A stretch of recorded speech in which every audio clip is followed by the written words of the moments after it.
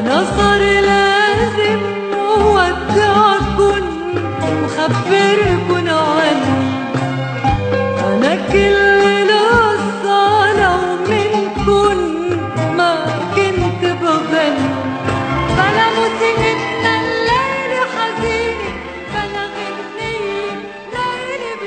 82 عاما آه، عيد ميلاد آه، فيروز بمثابة عيد ميلاد للفن. آه، نحييكم في حلقة جديدة وأيضا بنقول لفيروز كل سنة وأنت طيبة ونقول لكل المهمومين بال بالتذوق الجميل وبالفن وبالإبداع. شفتوا فيروز مثلا مسرفة في الحوارات التلفزيونية أو بتتكلم خالص؟ يعني قلما تجد قلما تجد لقاء تلفزيونيا له. شفت فيروز مثلا آه، بتطلق آه، كلاما هنا أو هناك آه، وتحاول إنها تلفت الأنظار والانتباه بمواقف هزلية عبثية. لا إنما هتلاقوا فيروز باقية وشامخة بفنها بهذا الشكل. لا هتلاقوها إنها يعني غيابها بمثابة حضور لأن الحقيقة الحضور من خلال الفن. اوعى تعتقد إن الحضور من خلال كثرة الظهور أو من خلال آه، الدعابات والإفيهات آه، والمواقف المفتعلة آه، أو بعض الذين يسوقون لأنفسهم تلاقي ان في ناس عندهم كمية أخبار كتيرة جدا يقول لك فلانة تشعل مواقع التواصل الاجتماعي. صورة لفلانة بتهز مواقع التواصل الاجتماعي. طب فلانة دي ما الذي قدمته في الفن؟ تلاقي ما فيش يعني. فلأن ما فيش فيعني تعالوا نملى ال ال ال الفراغ بهذا الشكل يعني. آه، ال- اللي بيبقى هو اللي أنتم شفتوه ده.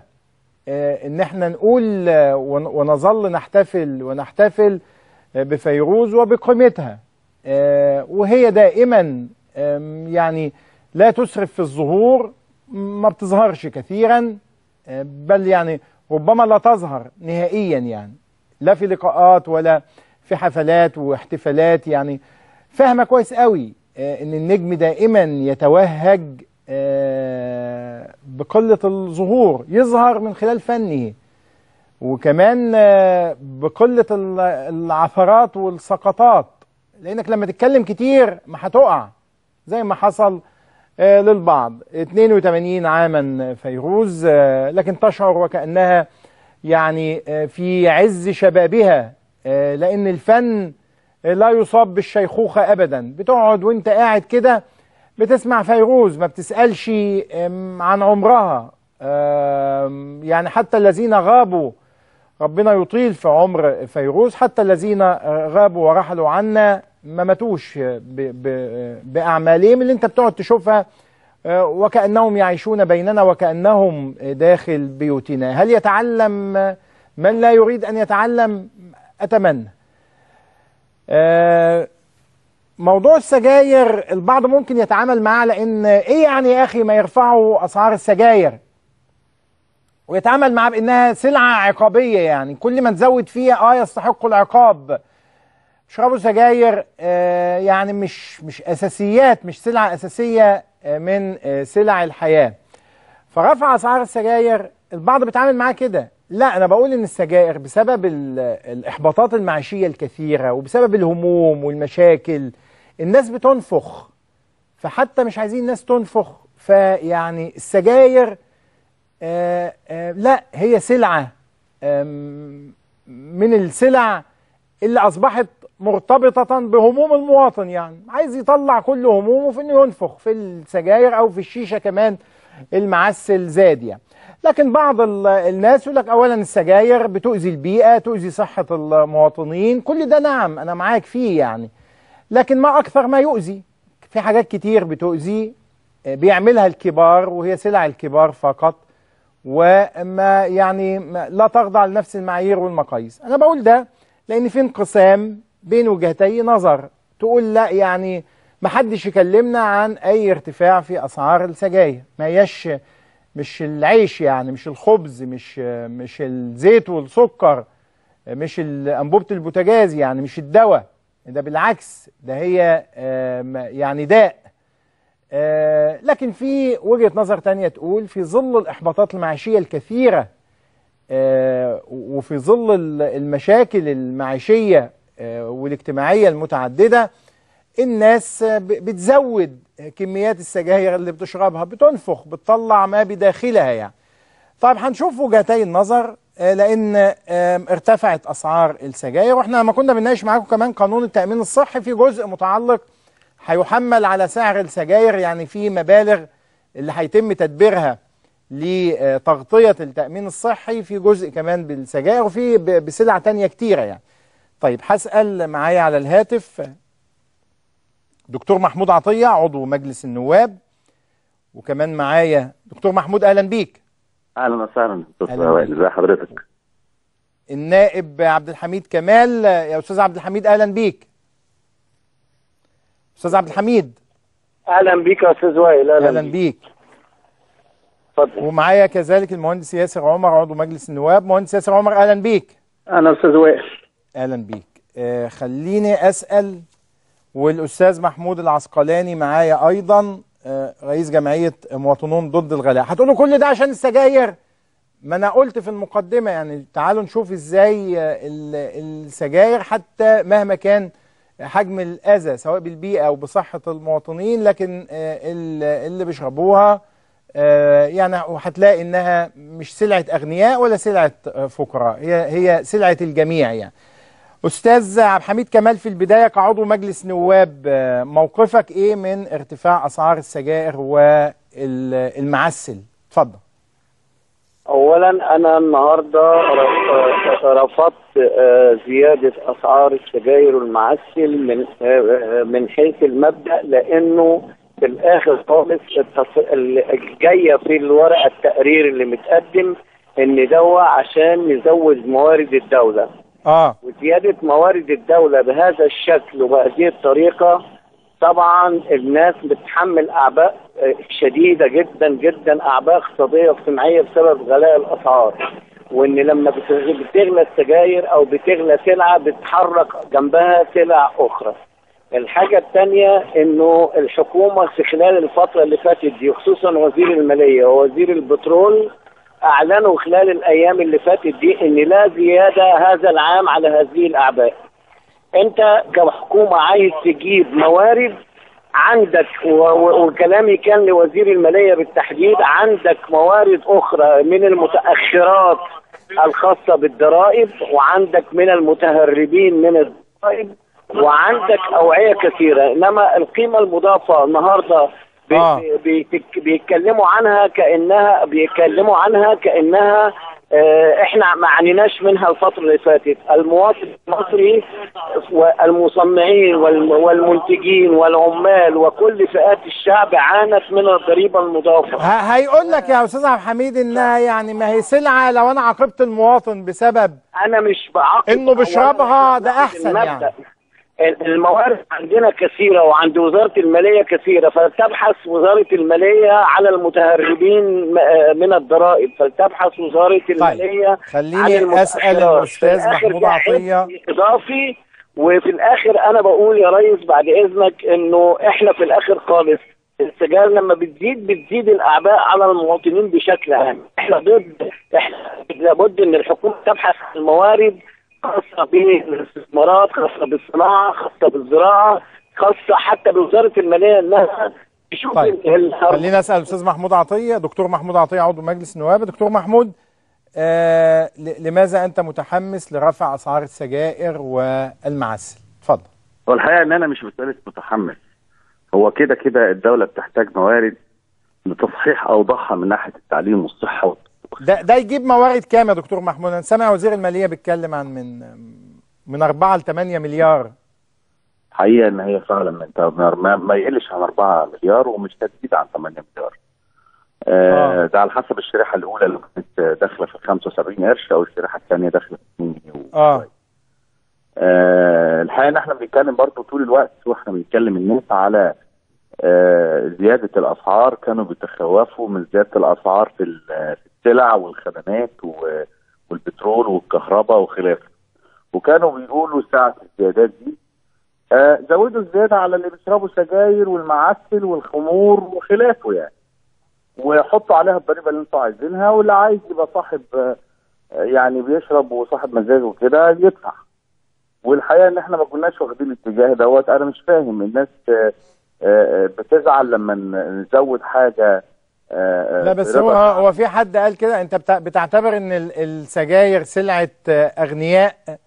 لا و أو أو. سلعة يعني يجب أن نعاقب من يشربها؟ ولا عاقب اللي خلاه يشربها. كتير كده؟ لا لا بص إحنا مش عايزين نتكلم على موضوع فقراء هو بيشربها كتير من إيه يا دكتور محمود؟ يعني الناس بتنفخ. لو سمحت لو سمحت. الناس بتشرب السجاير الأغنياء والفقراء. فقراء بيشربوا سيجار وسيجارة و... و... و... و... وشيشة وخلافه وكل أنواع الشيش المطلوبه والفقراء بيشربوا كمان سجاير متعددة.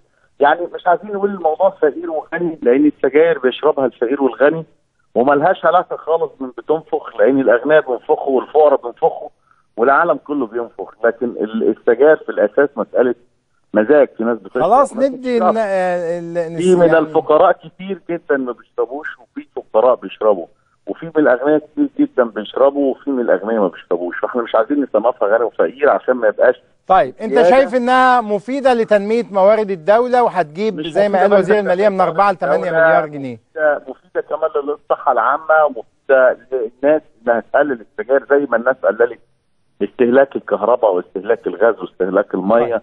وللترشيد إيه المشكلة إنها بتساعد على ترشيد السجاير طيب كمان؟ أستاذ محمود العسقلاني آه، رئيس جمعية مواطنين ضد الغلاء قول لي آه، آم، آم، تعاملت إزاي مع آه، رفع أسعار السجاير والمعسل؟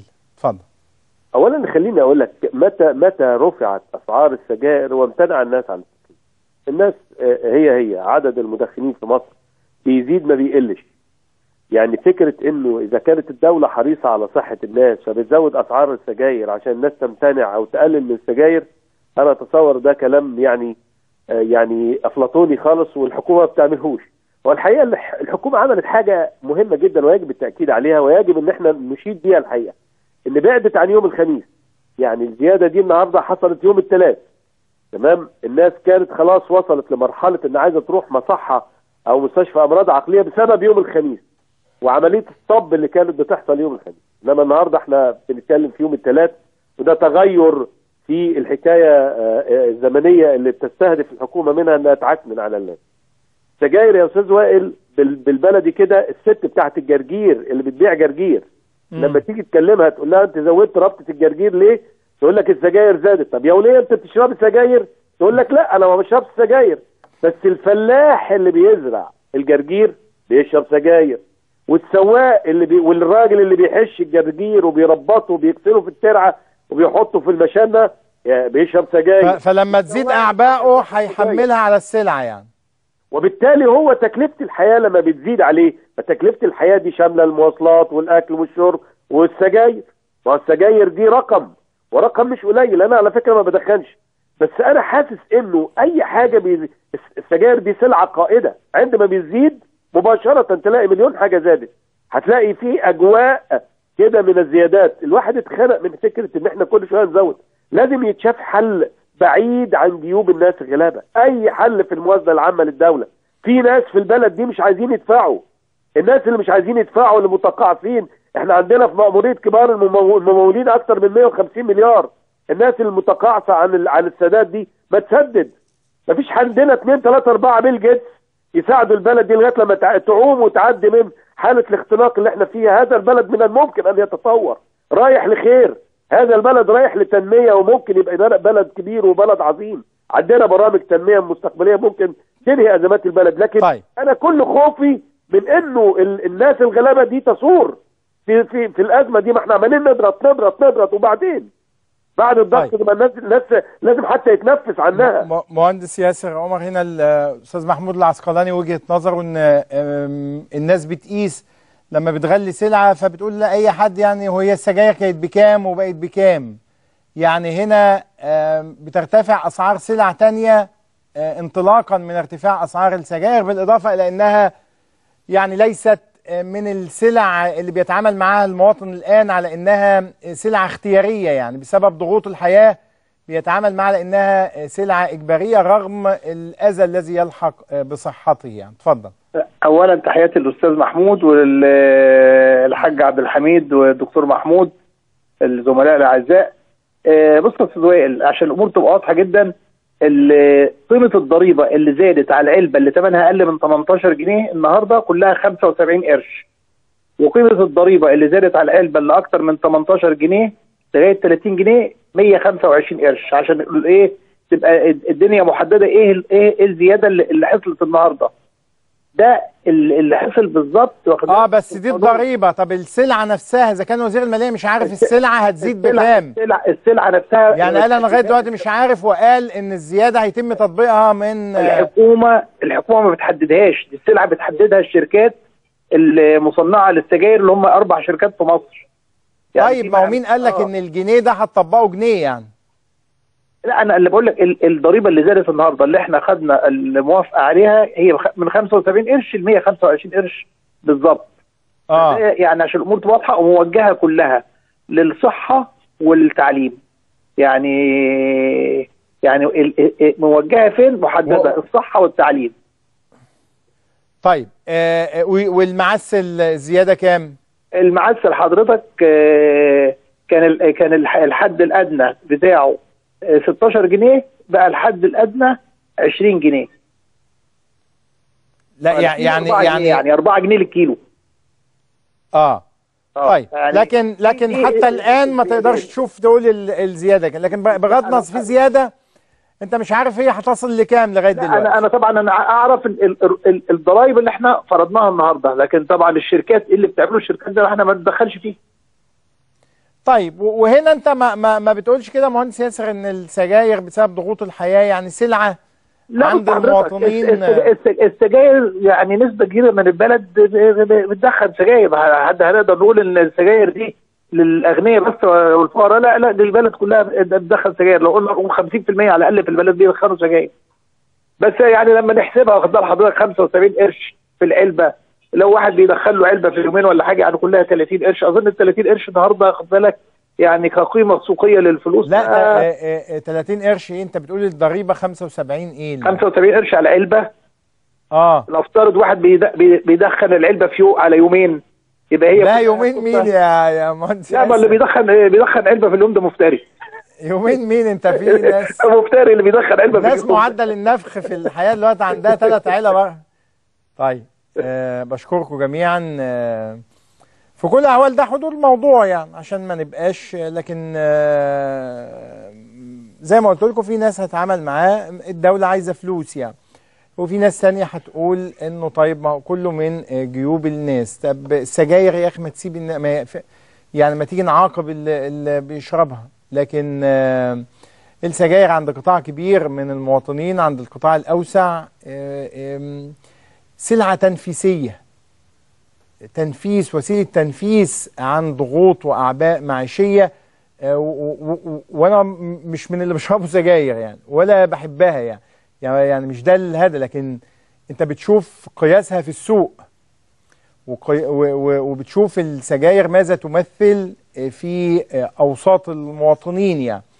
وارتفاع سعرها خاصة كمان زي ما قالوا إن التأمين الصحي زي ما قلت لكم هيبقى فيه في رفع أسعار السجاير. يعني ناقشناها بكل وجهات ال- النظر.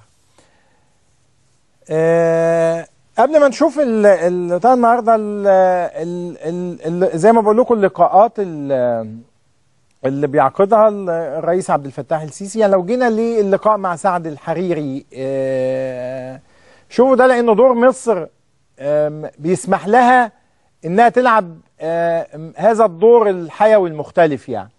يعني هتلاقي العماد عون يتصل بالرئيس السيسي وهتلاقي سعد الحريري موجود هنا. إذا مصر على صلة بكل القوى في الساحة اللبنانية. ليه؟ لأن موقفنا يختلف.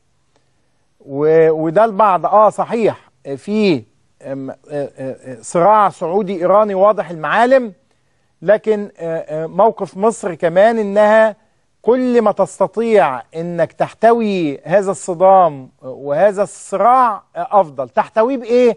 تحتويه بإنك آه أنت آه أمن الخليج خط أحمر لكن في نفس الوقت زي ما قلت لكم مصر آه، على لسان الرئيس السيسي قالت إحنا مش مع أي تصعيد عسكري أو مش مع أي تصعيد يوصلنا لهذا الاتجاه.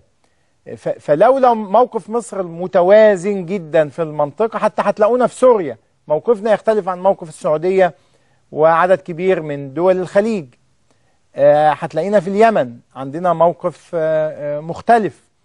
وده يعني أهمية ال- الدور المصري إنك آه في علاقات استراتيجية مع دول الخليج ومع السعودية تحديدا لكن مفيش علاقات تبعية أو إنك ماشي في نفس الخط. هنختلف لكن في النهاية كمان كل ده هيصب في الأمن القومي العربي في النهاية. وبالتالي هنا هتلاقي ما حدث آه، على الساحة ال- في الساحة اللبنانية اليوم.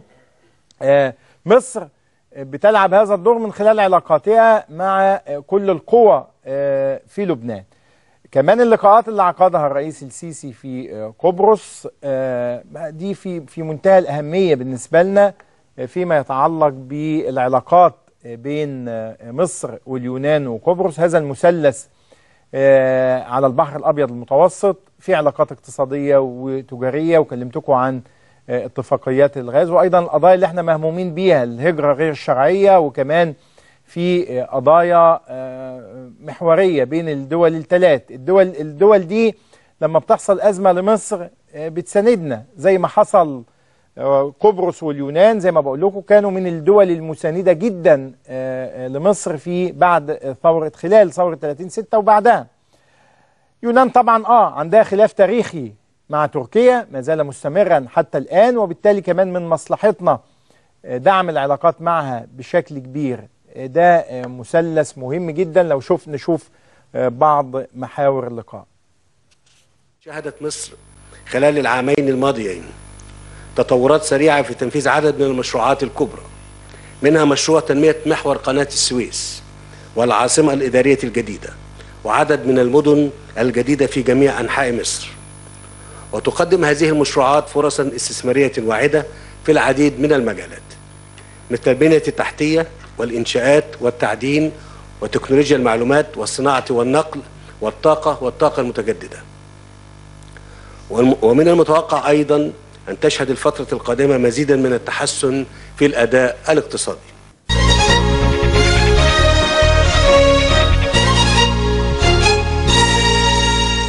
ده اذا مصر آه، يعني بتسوق لنفسها من خلال المشروعات الكبرى ومن خلال علاقات آه، في الاستثمار والاقتصاد. كمان قضية الإرهاب وهي قضية أساسية ومحورية. لابد أن يتحدث عنها الرئيس السيسي دائما في أي زيارة وأي جو ليه؟ لأن مصر آه لا يعني آه تدافع عن الجميع وليس عن مصر فقط. يعني الجماعات الإرهابية آه، إذا تمكنت من مصر هتتمكن من الجميع ومن المحيط الإقليمي. وبالتالي دائما الرئيس السيسي يتحدث عن كيف آه، نواجه الإرهاب. الإرهاب خطرا كبيرا يهدد شعوب المنطقة بل والإنسانية كلها. الأمر الذي يستدعي تكاتف كافة الدول تسخير إمكانياتها للتصدي له باعتبار أن تو- أن توفير حياة آمنة لمواطنينا هو أبسط حقوق الإنسان التي تفرضها علينا مسؤوليتنا. فضلا عن أهمية مجابهة الفكر المتطرف بمختلف أنواعه. واتصالا بذلك نواصل التباحث حول أفضل سبل التصدي لأزمة الهجرة غير الشرعية. التي نتجت عن الأوضاع التي تتعرض لها منطقة الشرق المتوسط ذلك من خلال مدخل شامل ومتكامل يعالج جذور تلك الأزمة من النواحي الاقتصادية والاجتماعية بجانب التصدي لمظاهرها من الناحية الأمنية. وختاما فإنني أجدد شكري للسيد الرئيس نيكوس والسيد رئيس الوزراء أليكسيس متطلعا أن تشهد قمتنا المقبلة مزيدا من العمل المشترك من أجل تعزيز التعاون بين دولنا وأن تعقد في أجواء أكثر استقرارا لمنطقتنا وشكرا.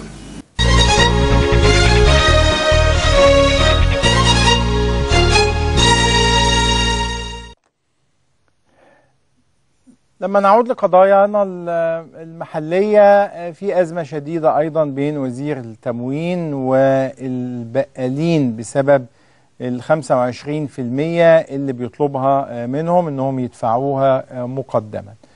استمعنا لآراء كل المعنيين بهذه القضية بما فيهم التموين وأتمنى أن في قضايا من هذا النوع آم، إنها المهم إنها ما تنعكسش على المواطن.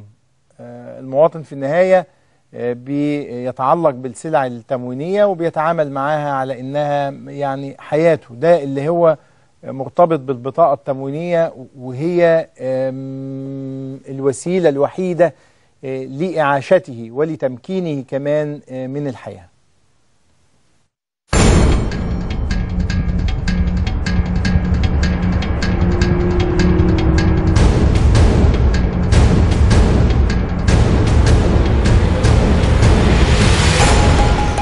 قرر الدكتور علي المصلحي وزير التموين إلزام البقالين التموينيين بسداد 25% كتأمين من إجمالي قيمة السلع التموينية التي تصرف لهم شهريا.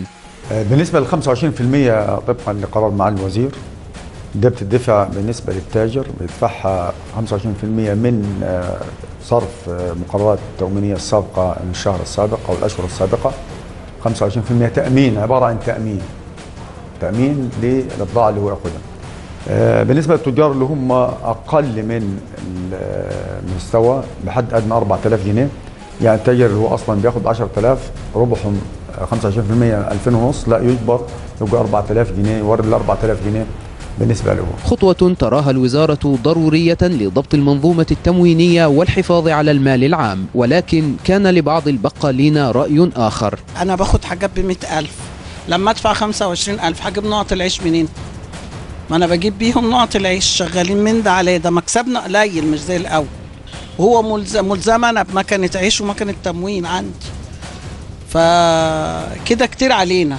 موضوع ال 25% ده هيأذي كل التجار. اولا آه معظم التجار يعني ما عادش فيه أرباح بالنسبة لل- لل- للبقالة التموينية. فمش معقولة. الحكومة تزيد عبء للتاجر تاني إن هي تدفعه 25% وخاصة إن هو ما بيكسبش حاجة أساسا. وأنا بناشد وزير التموين والحكومة لازم يبقى في رفق بتجار التموين وجميع التجار لأن فعلا إحنا ما عدناش بنكسب حاجة. كذلك القائمون على المجمعات الاستهلاكية يرون أن القرار سيؤثر سلبا على نشاطهم. المفروض إن إحنا كتعاونيات ما نعملش المعاملة ديت بالمثل لأن البقال التمويني بيبيع الحصة التموينية بس. إنما إحنا بنشبع آه، رغبات الأعضاء أو المواطن من كل أنواع السلع. فلما نجمد من سيولتنا مبلغ آه، 200 300 ألف جنيه تأمين عندنا في القليوبية جمعية المحافظة فيها ست فروع شغالة تموين واثنين تحت الإنشاء وعندها حصة بوتاجاز وعندها فلوس للحمة والفراخ بتدفعها فده كده بيخبط السيولة بتاعتنا لأن البقال التمويني ما بيبيعش بالحصه التموينيه بس إحنا بنشتغل في أكتر من ايتمز اللي ببيع بيه بروح أقول لهم أنا بعت ب 10 جنيه يدوني ال 10 جنيه. إلا إن قرار وزير التموين بيقول لك إن ياخد ربع أو 25% من قيمة البضاعة تأمين. وتأمين طبعا داخل الحكومة مش هيترد. والفلوس دي كلها تأثر عليا أنا. كشغلي غير التموين. أنا ما بشتغلش تموين بس. أنا زي ما أنت شايف البضاعة اللي في الفرع ديت بتتباع للجمهور كله. تموين وغير تموين. هتأثر عليا مش هتخليني أجيب بضاعة في الفرع. هرتبط بالتموين ومش هعرف أشتغل في حاجة في الجمعية.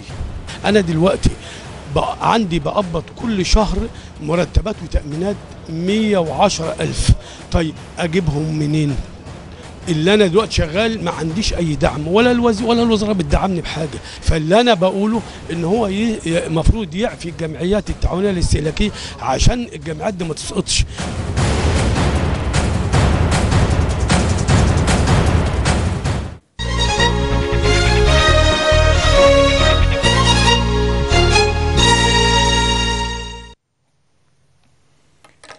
آه، إساءة لمجلس النواب هكذا اعتبرها النواب من رئيس نادي آه، هليوبلس آه، هارون التوني دعتهم لجمع توقيعات والتهديد بإقامة دعاوى قضائية. طبعا الكلام ده إحنا عارفينه. ما عشت هذا الكلام أنا كنت حاكمك الشعب زمان أيام شوية كان أنضف من دول شوية كتير مع احترامي كان إنسان ما بتزعلش من آه، آه، أنا عايز أقول آه، وبعدين اختلفنا اختلفنا وفاضل زعل إن كلامه مش هيمشي وسابنا ومشي وقلت له معلش يا فاضل أنا عمري ما خلفتك لكن في دي لا ما ينفعش.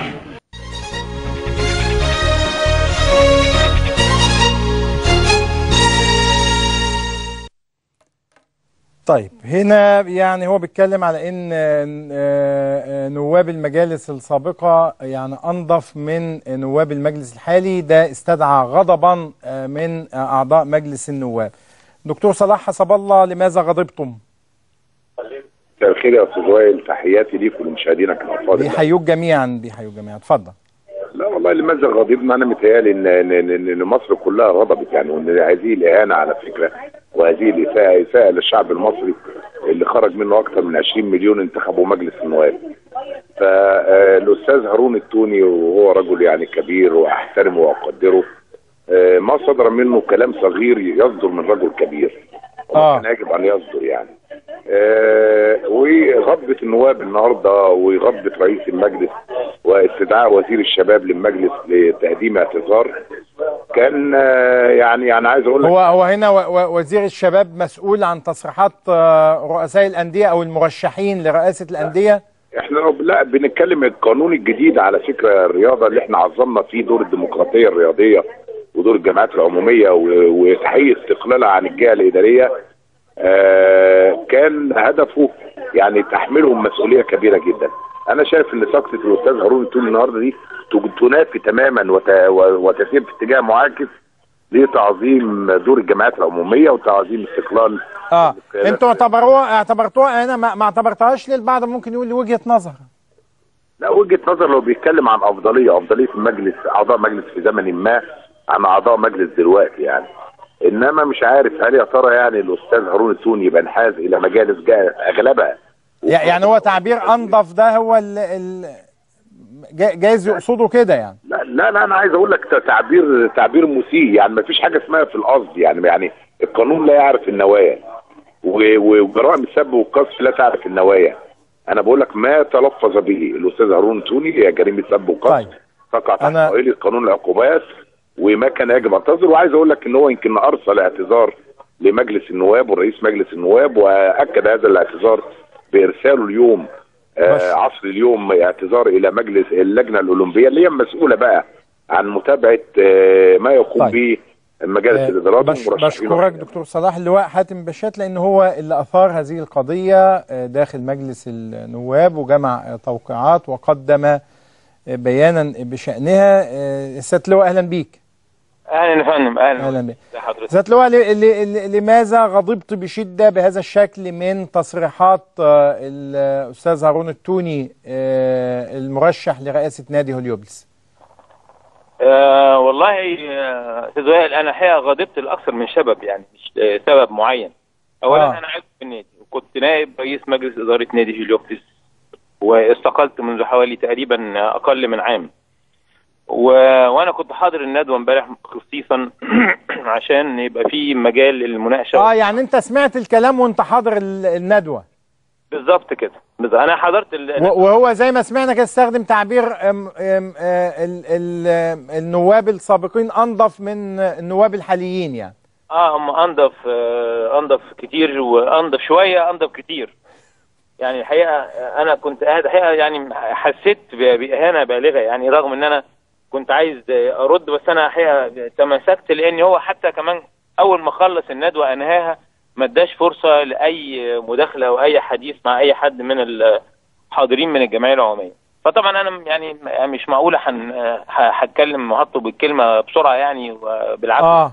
فطبعا أنا خلاص أنا نهاية اللقاء وعبرت بس لأعضاء المجلس اللي كانوا موجودين وأعضاء الجمعية عن استيائي لهذا الموقف وحتى عدم محاولته آه، لفتح المناقشة أو أو المصارحة أو مع أعضاء الجمعية العمومية عشان يعرف هم يعني إيه طلباتهم حتى في المرحلة السابقة أنت النهارده بت... أنت النهارده مرشح نفسك ولازم إنك أنت آه، تتكلم آه. مع أعضاء الجمعية العمومية أنت طيب. بتعرض إنجازات لكن أنت النهارده النواب تضامنوا معاك واعتبروا إن ده إهانة للمجلس يعني آه، بالظبط لأن ال- ال- الفيديو موجود. حتى الدكتور علي آه، آه، الدكتور علي عبد العال شاف الفيديو الحقيقة والسائل للغاية. لأن آه، آه، يعني حتى في إهانة كمان لأحد أعضاء المجلس آه، هذا إهانة شخصية. فطبعا الموقف ما كانش يعني يعني يعني يعني ما ينفعش النهارده إن رئيس الجمهورية بتاعنا آه، في قبرص وامبارح وبيشيد وبيثني على آه، أعضاء مجلس النواب ومجلس النواب المصري. وفي حد آه، ذو قامة كبيرة رياضية آه، بتربي أجيال وقامة كبيرة وقوة آه آه آه. شباب النادي. طبعا يعني ده ده في كل الأحوال مرفوض. أنا بشكرك. إحنا كنا طبعا طلبنا من السيد هارون التوني إنه يعلق وبعد ما وافق رجع تاني وقال إنه مش هيعلق. لكن الكلام موجود في تصريحاته موجودة في ال- الفيديو اللي شفناه منذ قليل. الت- التحقيق اللي هنشوفه عن الستة اللي ماتوا وإحنا قلنا لكم امبارح إن شوفوا آه، أب وأم. الحمد لله في طفل بس نجا لكن أب وأم وطفلتين ماتوا. آه، وطفل وطفل بقي على قيد الحياة.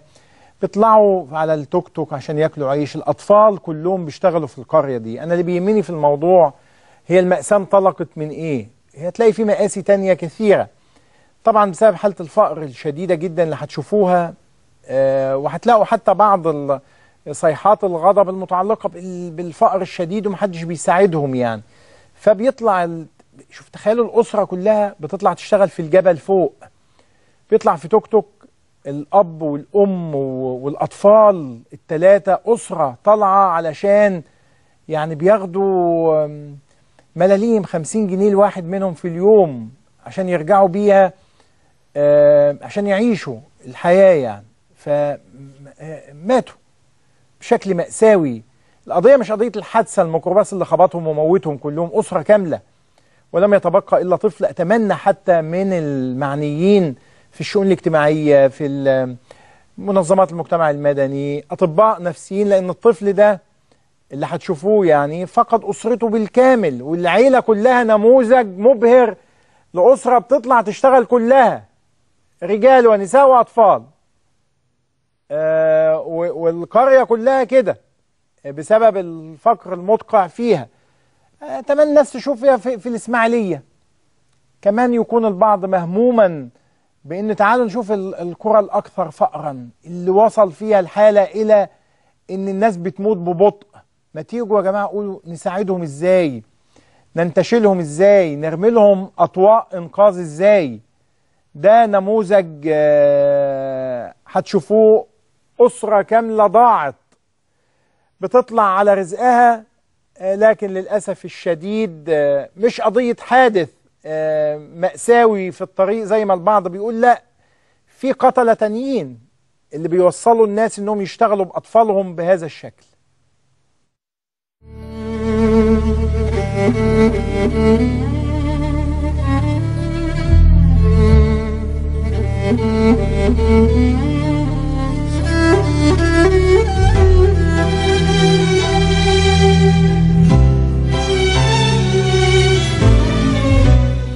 لقي ستة أفراد مصرعهم. في حادث تصادم بين توك توك كانوا يستقلونه وميكروباص بقرية الوابورات بالإسماعيلية. خمسة منهم من أسرة واحدة. كانت الأسرة في طريق عودتها من إحدى مزارع الفول السوداني التي تعمل بها. حين صدمهم سائق ميكروباص متهور ولم ينجو منهم سوى الطفل محمد البالغ من العمر خمسة سنوات ليصبح بين طرفة عين وانتباهتها وحيدا يتيما. اتصلوا بيا الساعة اتنين وربع قالوا لي أخوك عمل حادثة. بس بعدها بشوية استفسرت آه، حادثة إيه يعني؟ قالوا ده بالتوك توك وهو في المستشفى ومع ابنه في المستشفى ومراته وبنته وبنته التانية توفوا خالي علي راح هو وعياله. بيت كامل راح بيت كامل راح. رايح على أكل عيشه الصبح يعني ده شهيد أكل عيشه. رايح عشان أكل عيشه. ميكروباص شاله على اسفلت الميكروباص جابه من طريقه حطه في طريقه. يعني ده حتة توك توك عامل زي النملة بالنسبة للميكروباص. يرضي ربنا دوت عشان تهور السواقين وعشان الناس اللي ما عندهاش ضمير عشان خاطر ربنا يا ناس. خلوا صوتنا دوت الناس كلها تسمعه. هي طالعة بالتوك عشان توفر الأجرة عشان لها شاشة. هي طالعة ليه؟ طالعين ليه من اللي هم فيه؟ من الغلب اللي هم فيه طالعين. الحادثة دي حصلت عند عند الصالحيه يعني في في المنزل بتاع الصالحيه بين الشرقيه وبين الإسماعيلية. في في آه، إسعاف خدت البنتين ودتهم الصلاحية وفي عربية إسعاف جابت ال- الحالات التانية جابتهم على مستشفى العصاصيه اللي حصل ده بيت كامل اتقفل. ثانيا في طفل محتاج رعاية. عايزين للطفل دوت آه تأمين صحي. عايزينه يتعلم. عايزين معاش ليه؟ ده الطفل اللي آه، والده ووالدته توفوا واخواته. الناس دي الفجر يعني القرآن لسه بيبدأ. هما بيطلعوا الجبل يسترزقوا. الجبل ده المزارع الجبل ده المزارع فيه مثلا أيام البطاطس أيام الفول بي- بيصيفوا. إحنا كل يوم نروح نشتغل نعملنا 10 box ب 40 جنيه. ال 10 دول ب 40 جنيه باخد 10 جنيه اجرة عربية وبن- ونجيب 5 جنيه فطار. أدي اللي فلوس راحت وفي آخر الجاب ما نلاقيش حاجة. أنا وسعيد ده كنا بنطلع الشغل كان بيطلع عنا أقسم بالله عشان أربعة جنيه ال box. وفي الجبل ده المقاولين كانوا بيضربونا بالخرزانة والله. وأنا لسه جاي من الشغل والله. كنت بشتغل في الغيطان الأول دلوقتي ما كنتش بقدر أشتغل في الغيطان. وعايش عايش معايا ابن عمي بيش- يومي بيشتغل وعشرة ما فيش. مفيش أي مصدر رزق ليك مش أي مصدر رزق غير إن أروح والله الغيط قدامهم كلهم أهو والله قدام الناس كلها. دلوقتي ما فيش مصدر رزق خالص. وأنا عيالة ومش قادرة إلا لا أشتغل تاني يا بيه. وأنا قادرة أروح على الغيط تاني أشتغل أنا واقفة غصب الله عني والبيت بتاعنا.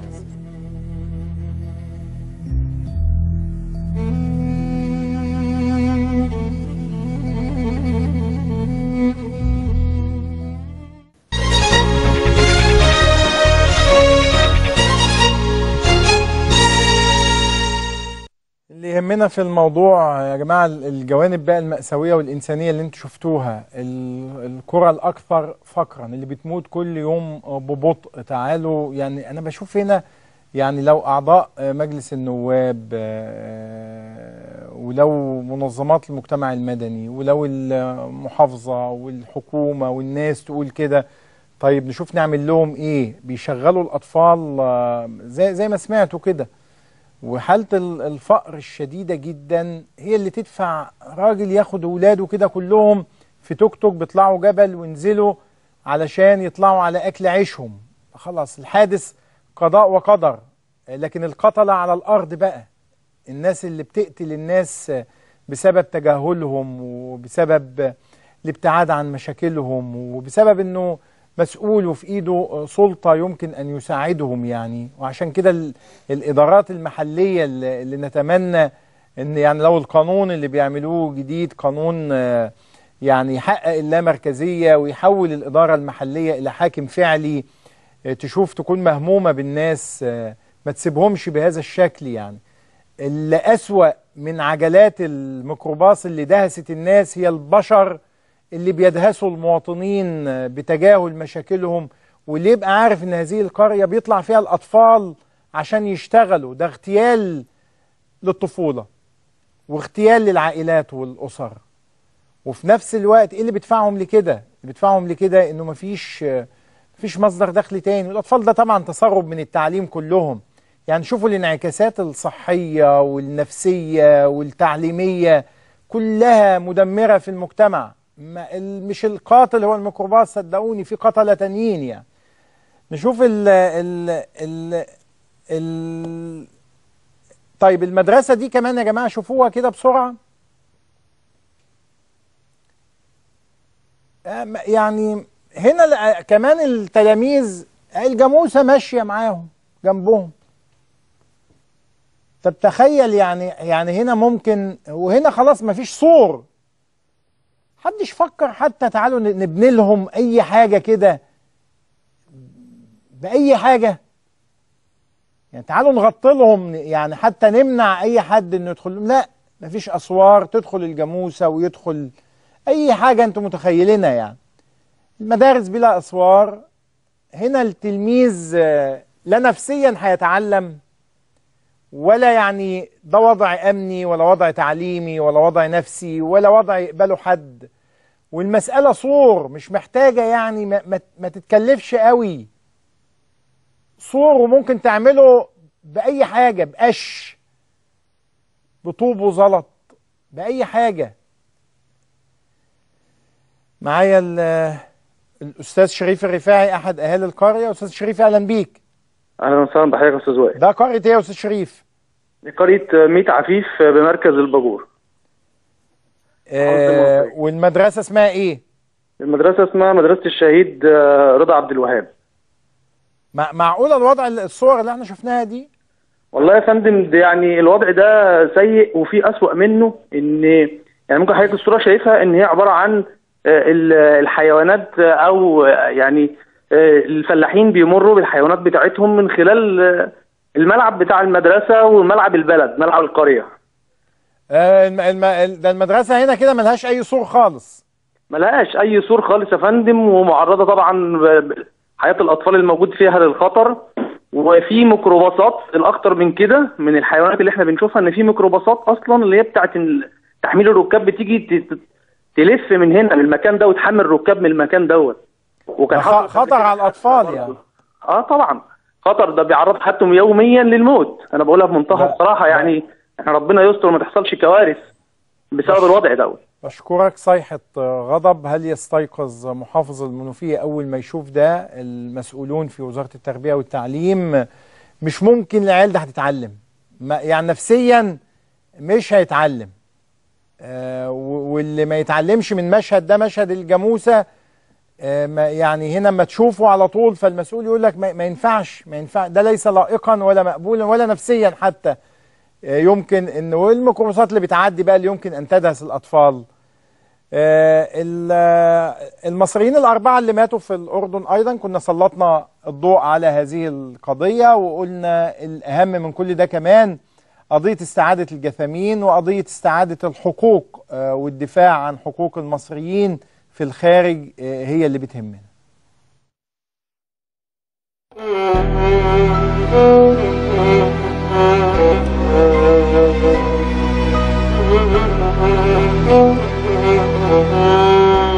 لقي أربعة مصريين مصرعهم في الأردن في حادث سير إثر انقلاب سيارة يستقلونها على طريق عمان الزرقاء جميعهم من محافظة بني سويف.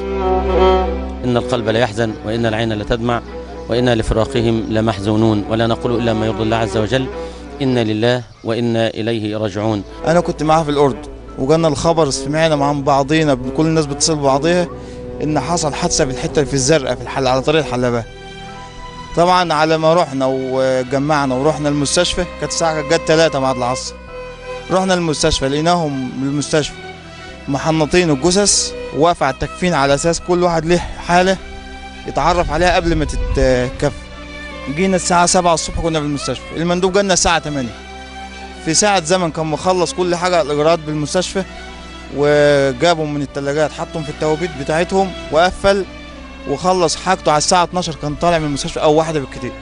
يعني كده السفارة ما أثرتش بصراحة ربنا المندوب ما أثرش. بالنسبة للإجراءات بتاع الأردن كانت سهلة وسلسة ومحدش جري بأي حاجة. الموضوع كان ماشي هنا. وموضوع إن هم عوقوا على الطريق والرايح والجاي لا بصراحة ربنا ما عوقوش. على الساعة 9 كان كل الأمور تمام. ابننا فوزي ده كان من الأبناء اللي هم البارين جدا ونحتسبهم عند الله كذلك شهداء عند الله ولا مزكيهم على الله أحد.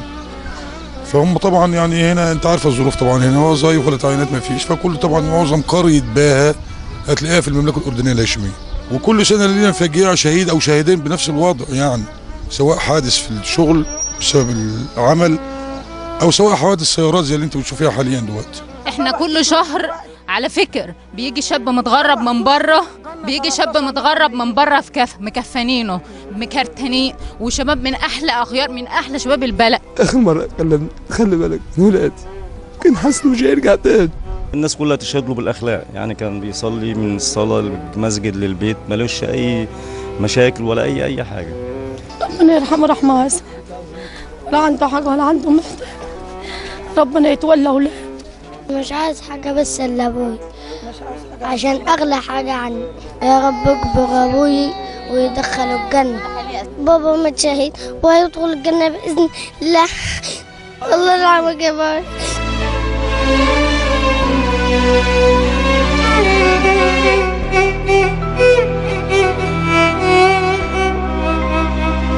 Oh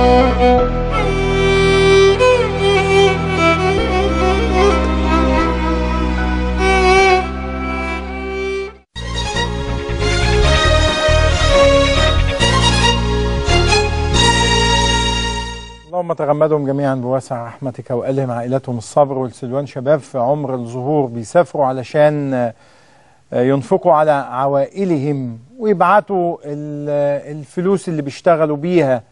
آه، زي ما بقول لكم صحيح هي مآسي آه، تحدث بهذا الشكل. لكن تعالوا نهتم بسرعة نقل الجثامين المصري. ما بينامش إلا لما بيدفن الجثة. وعنده ده بالنسبة له يعني آه، يعني ربما يخفف جزءا آه، من آلامه وكمان آه، نشوف حقوق الناس اللي ضاعت بهذا الشكل يعني نشوف كيف يمكن أن نستعيدها من الذين أخطأوا في هذا الحادث يعني. الدكتور هشام عبد الباسط محافظ المنوفية عشان بس يعلق على موضوع مدرسة بلا سور اللي هو مشهد ال- ال- الجاموسة داخل المدرسة اللي منتشر بشكل كبير واللي هو بيدلل يعني إن كل حاجة ماشية. يعني سيارات ميكروباص يمكن أن تهدد حياة الأطفال بالإضافة على إلى التأثيرات النفسية اللي لا يمكن أبدا تخلي النشء والأطفال يتعلموا في هذه المدارس. يا سيادة المحافظ أهلا بحضرتك. كل سنه وحضرتك طيب كل المشاهدين بخير يا فندم. الله يخليك النبوي الشريف. الله آه حضرتك أنا فعلا شفت ال- الصورة امبارح وباختصار شديد يا فندم طبعا ال- المدرسة دي آه، بنيت من حوالي 35 سنة آه، بجهود أهل القرية يعني بجهود آه. آه، أنا مش ب... على فكرة مش بقرر لحضرتك بس أنا يعني بشرح لحضرتك لأن دي بداية مطلوبة يعني. فهي آه. طبعا لم تبنى بمعرفة هيئة الابنيه التعليمية لأن هيئة الابنيه التعليمية في ذلك الوقت لم تكن انشئت بعد يعني آه فبالتالي المعايير اللي بنيت بها هذه المدرسة بالجهود الذاتية كان في تداخل بينها وبين آه، ملعب آه، خاص بالقرية. طبعا هذا ليس مبررا قط إن يكون المدرسة بلا سور. يعني مش بقول آه. كده إن ده مبرر لا اطلاقا بس أنا بقول لحضرتك الوضع الراهن حاليا يعني. آه إن الم... والملعب ده تبع الشباب والرياضة آه، تبع الشباب والرياضة وفي كانت مشكلة قامت آه، من سنوات ما بين مديرية التربية والتعليم وما بين ال- الشباب والرياضة على إن الملعب ده هام جدا للقرية وإن وضع السور هيبقى عائق. ايا ما كانت الأسباب وهي كلها أسباب واهيه على فكرة. يعني آه. أنا, أنا عشان أكون صادق مع حضرتك أنا أصلا ما شفتش الموضوع إلا لما لما حدث آه، رصده بهذا الشكل من آه، أحد السادة الإعلاميين. وطبعا يعني آه، وارد إن إن إن الكم الكبير جدا من المدارس إن يحدث فيها حاجة زي كده لكن ال- اللي مش وارد إنها تعدي. دي اللي مش واردة يعني فطبعا آه هو ال- اللي يهمنا يعني خلاص يعني طالما يعني اكتشفنا الموضوع بهذا الشكل يعني نبص لقدام يعني هنحله إزاي؟ آه فأنا فعلا أنا فعلا عملت كده يا فندم النهارده يعني أنا كلفت لجنة تنتقل باكر بإذن الله تعالى. ال- اللجنة هتشوف الوضع. آه، بناء السور هو طبعا لازم ده أمر منتهي إنه يبنى. طب لو أثر على الملعب زي ما هم بيقولوا طب خلاص نشوف حل تاني للملعب لأن أكيد النشء والأطفال وجوه منشأة تعليمية هي الأقدس والأهم. إن إنك تجد مدرسة بديلة هو يمكن أن تجد ملعبا بديلا يعني. آه ما أنا بقول لحضرتك آه الأقدس والأهم وال وال والأفضل المدرسة بلا شك. طبعا دون الإخلال بأهمية الرياضة وأهمية الملعب طبعا حاجة. طبعا آه، الملعب مهم أيضا يعني آه آه ولكن آه، يا إما الملعب لا يؤثر بأي شكل هندسي طبعا اللجنة اللي طالعة بكرة إن شاء الله فيها آه. التخطيط العمراني و- ويعني ناس متخصصين بشكر حضرتك سياده المحافظ ألف شكر شكرا ليهمنا الاستجابة لده إحنا كنا عملنا ما شفتوا التقرير بتاع امبارح في سابقة هي الأولى من نوعها أن ينتفض يغضب يثور أهالي القرية بهذا الشكل وجدوا أن المخدرات تهددهم بتتباع على النص يا عيني عينك أمام ال- المباني والمؤسسات والبيوت آه، عيني عينك يعني. آه لم ينتظروا. قالوا لا إحنا هنطلع في مظاهرات حاشدة للتنديد آه، بالمخدرات. شفنا المظاهرات امبارح واتكلمنا مع الأهالي في التليفون. قلنا نصور في ده واليوم علمنا إن في حملة أمنية آه، آه، قامت لمواجهة آه، تجار المخدرات. لكن كمان الأهم آه، هننظم معاهم إن شاء الله ندوة آه، نحاول إن إحنا أو سلسلة حتى ندوات يعني نوعي الناس آه، بالمخاطر آه، اللي يمكن أن تنجم عن ذلك.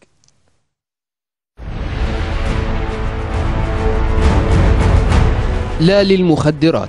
شعار رفعته مسيرة من أهالي قرية البريجات بالبحيرة بعدما استفحل خطر تجارة المخدرات في القرية وصارت تجارة تمارس جهارا نهارا.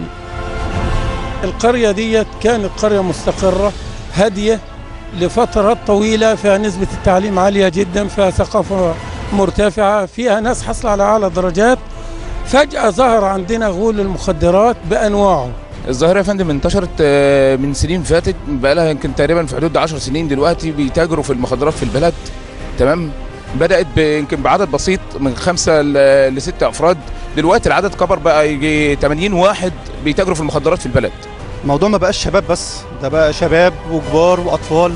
حتى ال ال ال ال ال النساء نفسهم هم نفسهم بيبيعوا. في أطفال النهارده بتاخد برشام في أطفال النهارده بتلاقي معاها مخدرات وفي بنات النهارده بتتأذي. النهارده انت بتمشي في الشارع من بعد يعت- يعتبر من من العصر بتلاقي الناس دي بتوزع. وصلنا لمرحلة اللي ما عادش فيه ما عدناش عارفين نمشوا في الطرق.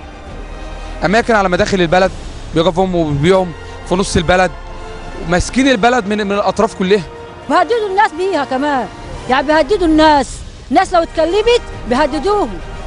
ان هم هيخطوا على بيوتهم ويبهدلوهم ان هم هيولعوا في بيوتهم. ان هم هيعملوا في بلدهم حاجة وهم ماشيين.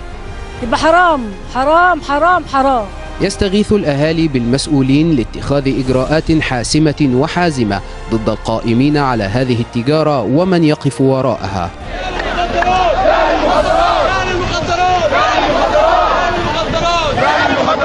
حضرتك يا فندم أنا طلعت وباعلى صوتي وقلت لا للمخدرات ولا للفساد. حضرتك ده ده بيأثر علينا إحنا بالسلب كشباب. حضرتك إحنا مش عارفين يعني أطفالني وأولادني وأهاليني وحضرتك فيه برضه بنات بتشتغل في المخدرات بتساعد الناس دي من خارج وداخل البرجال إحنا متضررين جدا من المخدرات وبنخاف على أطفالنا وقبل كده محل اتسرق اتكسر واتسرق من سبب العيال اللي بتبقى مبرشمة وشاربة مخدرات.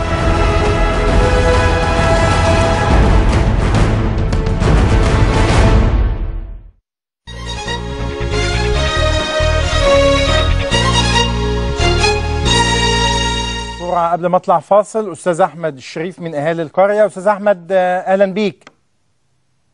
في شكر يا سوائل على المجهود اللي انت عملتوه معانا. والله يا سوائل والله العظيم إحنا بنشكركم أهل القرية كلهم بيشكروك يا سوائل الله يخليك ده واجبنا ده ده قضية مجتمع. الأمن برضه بعت حملات بعدها على طول وقاموا بأحلى شغل هنا في البلد. والله يا سوائل طيب الحمد لله. القضية مش أمنية فقط. تعالوا نشوف بقى الأسرة كلها والله.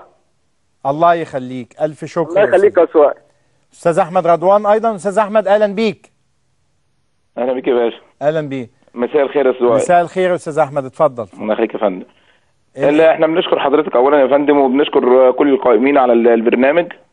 و... الله يخليك. ده واجبنا ده واجبنا. ربنا يخليك يا فندم. بس هي القضية بقى مش أمنية بس. تعالوا إزاي نفكر في انتشال آه، آه، بعض الذين يعني سقطوا فريسة لتجار المخدرات. نوعيهم عايزة حملات توعية وعايزة إن شاء الله ندوات يا فندم. إحنا قمنا. إن شاء الله بعمل ندوة وإن شاء الله بإذن الله توعية وفي إن شاء الله دكاترة علم نفس من جامعة اسكندرية. إن شاء الله نازلين بإذن الله الندوة الأسبوع القادم إن شاء الله بإذن الله. وإن شاء الله حضرتك برضو تشرفنا وكل برضو قائمين في الاستوديو يشرفونا برضو للتصوير وكده برضو. إن شاء الله هنكون معاكم و... بشكرك ألف شكر. واضح إن التطرف اللي بيحاول البعض أن يلصقه فقط بالإسلام والمسلمين لا هي قضية في في قضية تعصب عقائدي آه، بتنتشر. ده فيلم سينمائي في الهند. تم تهديد الممثلة والبطل ليه؟ بيح- بيحكي قصة ملكة هندوسية آه، أحبت حاكما مسلما. فهنا إزاي يتم تناولها الهندوس؟ آه، وأحد الأحزاب هددوا بقتل ال- الممثلة وأيضا آه، الممثل اللي أدى دور الحاكم المسلم لحد إن السلطات الهنديه وضعت حراسة عليهم. هطلع من هذا التقرير اللي بيؤكد آه، في تعصب مذهبي شديد يصل وعقائدي يصل إلى حد إهدار الدم.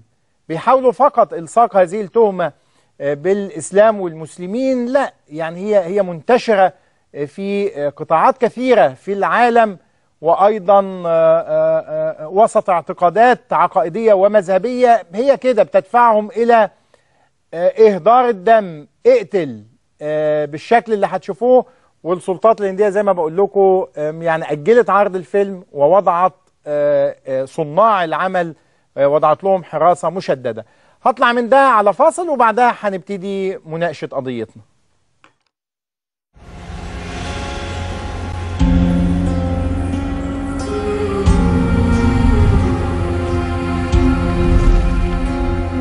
أعلن السياسي الهندوسي المتشدد سوراج بال آمو زعيم حزب بهاراتيا جاناتا في ولاية هريانا شمال الهند عن مكافأة لقتل الممثلة ديبيكا بادوكون والمخرج سانجاي ليلا وعرض عضو الحزب القومي الهندوسي الحاكم 100 مليون روبية أي ما يعادل مليونا ونصف مليون دولار مكافأة لقتلهم. غضبا من قصة فيلمهم الجديد بادمافاتي الذي سيعرض في صالات السينما قريبا لأنه يحكي عن علاقة حب بين ملكة هندوسية وحاكم مسلم चिंता को तलवार की नोक पे रखे वो राजपूत रेत की नाव लेकर समंदर से शर्त लगाए वो राजपूत और जिसका सर कटे फिर भी धड़ दुश्मन से लड़ता रहे वो राजपूत كما هدد أيضا بقطع سيقان ممثل آخر في الفيلم هو رانفير سينغ الذي يؤدي دور الحاكم المسلم. ودفع التهديد منتج الفيلم لتأجيل عرضه الذي كان مقررا في الأول من ديسمبر. يشار إلى أن بدمافاتي هي ملكة أسطورية هندوسية. تردد أنها ألقت بنفسها إلى جانب مئات النساء من بلاطها في النار بدلا من أن يتم أسرهن من قبل حاكم مسلم قوي من أصل تركي أفغاني. ويعتقد متشدد الهندوس أن الفيلم يسيء لملكة مهمة في التراث الهندي وعلى إثره خصصت شرطة مومباي حراسة خاصة للفنانة ديبيكا والنجم رانفير سينغ.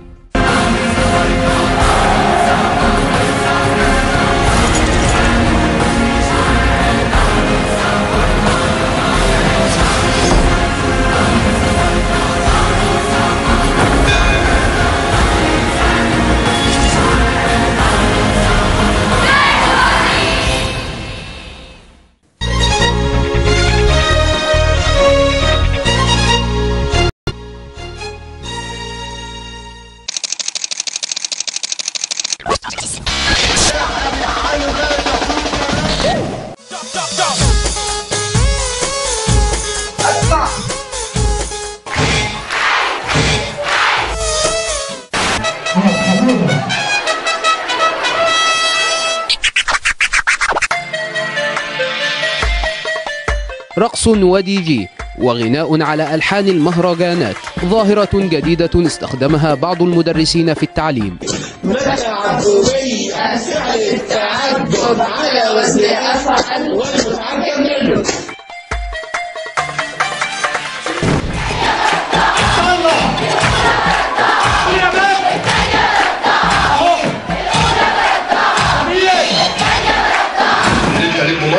على النبي بترد الله المعين كله سيب نصره بقى كده كابتن خد أقول لك حاسب آلي علي الداري خلي بالك بالتعدي الإلكتروني تعريفه. رغم الانتقادات التي وجهت لهم قرروا توصيل المعلومة بتلك الطريقة مبررين حب الطلبة لها.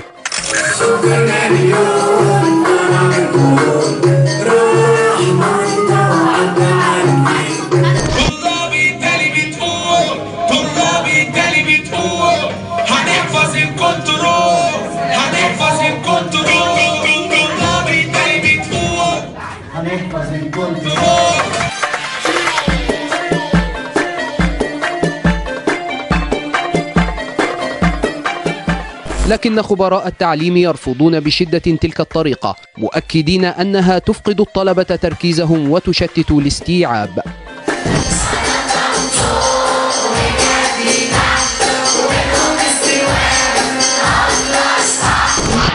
مشكلة مشكلة بسيطة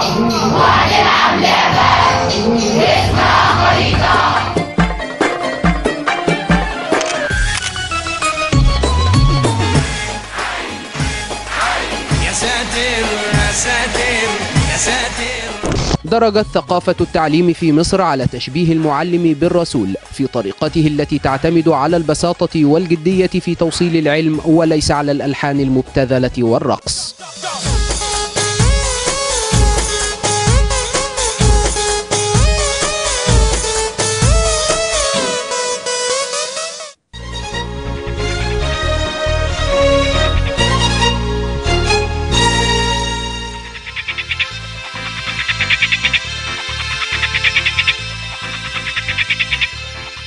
هل هذا هو الأسلوب الأمثل لتوصيل المعلومات أم أننا نشيع التعليم إلى مثواه الأخير؟ الذين يؤيدون هذا الأسلوب آه، يؤكدون ما المانع؟ ما المانع في أن يأخذ المعلم من الواقع؟ آه، يجد ارتباط الناس ببعض الأغاني المنتشرة بشكل كبير فيمكن أن يحببهم في المواد ويقوم بتوصيل المعلومات إليهم من خلال هذا الأسلوب. لكن الذين ينتقدون ذلك بيقولوا إن ده آه، ده أنا ما بعلمش الناس كده ده أنا كمان آه، آه، بنحدر بال بال بالأسلوب وبالذوق وبتدنى في السوقية خاصة إن هذه الأغاني مثلا متهمة بالسوقية. خلونا نتعامل مع القضية ما بين مؤيد ومحتج هنسمعهم ونشوف لماذا لجأوا إلى هذا الأسلوب خاصة بتلاقي إن الأعداد كبيرة من النشء والأطفال والتلاميذ والطلاب آه، بيدافعوا عنهم بشدة يعني. وفي الجانب الآخر تعالوا نشوف الانتقادات التي توجه إلى هذا الأسلوب اللي البعض آه، بيعتبره من مظاهر انهيار التعليم في مصر. آه، خلوني أقدم ضيوفي داخل الاستوديو أستاذ شريف شوقي مدرس فلسفة وعلم نفس وبيستخدم أسلوب أغاني المهرجانات الشهير يعني. هو يعني مش مش يعني مش بنفس المسمى مش مهرجانات. هو آه. اسمه اس اسلوب معالجة المعلومات. طيب. بمعنى إن ما إحنا هنتكلم فيه لسه اما اما نتناقش دلوقتي. أنا بس بقدمك الاستاذ حسام هارون أيضا بيستخدم أغاني المهرجانات وهو مدرس تاريخ. أستاذ حسام أهلا بيك. حسام بحضرتك أستاذ علي الدالي مدر... آه، مدرس حاسب آلي وأيضا بيستخدم أسلوب الأغاني المهرجانات. أستاذ علي أهلا حضرتك أستاذ عمر حامد هو بيستخدمها بأسلوب مختلف يعني وهو مدرس فلسفة وهنتكلم معاه أيضا في كل ده. أستاذ عمر أهلا بيك. أهلا وسهلا بحضرتك وبضيوفك أستاذ أهلا بيك. على الجانب الآخر ال- آه، دكتوره بثينة عبد الرؤوف الخبير التربوي. دكتوره بثينة أهلا بيك. آه، أستاذ فايز بركات عضو مجلس النواب أستاذ فايز أهلا بيك. أهلا بيك يا قلبي خلينا أبدأ معاك آه، أستاذ عمر. قول لي يعني أم، يعني إحنا أهو بنتناقش. ليه لجأتم لهذا الأسلوب؟ اولا بسم الله الرحمن الرحيم. آه، أسلوب التدريس بيعتمد على المهارات آه، الخاصة بالمعلم. آه. والمهارات اللي موجودة عند المعلم دي معتمدة في الأصل على نظرية سنة 1983 اسمها نظرية جاردنر للذكاءات. هي نظرية. فالنظرية بتتكلم على ذكاء اسمه ذكاء لغوي وذكاء شخصي وذكاء اجتماعي وذكاء منطقي رياضي. كل دي ذكاءات. اللي حضرتك شفته ده, ده بالنسبة لي أنا بتكلم على المستوى الشخصي. دي آه. ذكاءات كلها. يعني أنا لما أجي أحرك الإيد دي ده ذكاء حركي جسدي. هو يتسمى مهرجانات؟ كل واحد يسمي المصطلح وله احترام في وجهة النظر. لا ما خلينا بس عشان أنا مش أنا عايز أسمي الأشياء بأسمائها كما هي في الواقع. أنت معلم. تمام. بيستدعي أغاني المهرجانات المتهمة بالسوقية. يعني اللي إحنا بنقول يعني يا جماعة هذه الأغاني يعني مبتذلة ومتهمة بالسوقية وبتنحدر بالفن. ده لو أنا بشغل أغاني مهرجانات أنا بشغل تراك واحد موسيقي.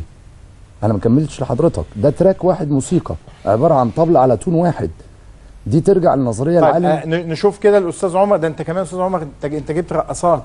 وجبت واحدة لا. ما حصلش الكلام دوت واستحالة يحصل ما أنا بقول لحضرتك أهو ما حصلش واستحالة يحصل طيب أنا هقول نشوف كده نشوف إحنا إحنا بص ب... إحنا بنناقش يا جماعة أنت هتقنعني أنا أو. الأساتذة يقنعوا الناس بإن ده يعني ربما يكون خطرا على التعليم أو أنت تقنعهم بإنه لا ده أسلوب أمثل لتوصيل أنا أتحمل المعلومات يعني. المسؤولية كاملة لو هو خطر على التعليم نشوف كده الأستاذ اتفضل. عمر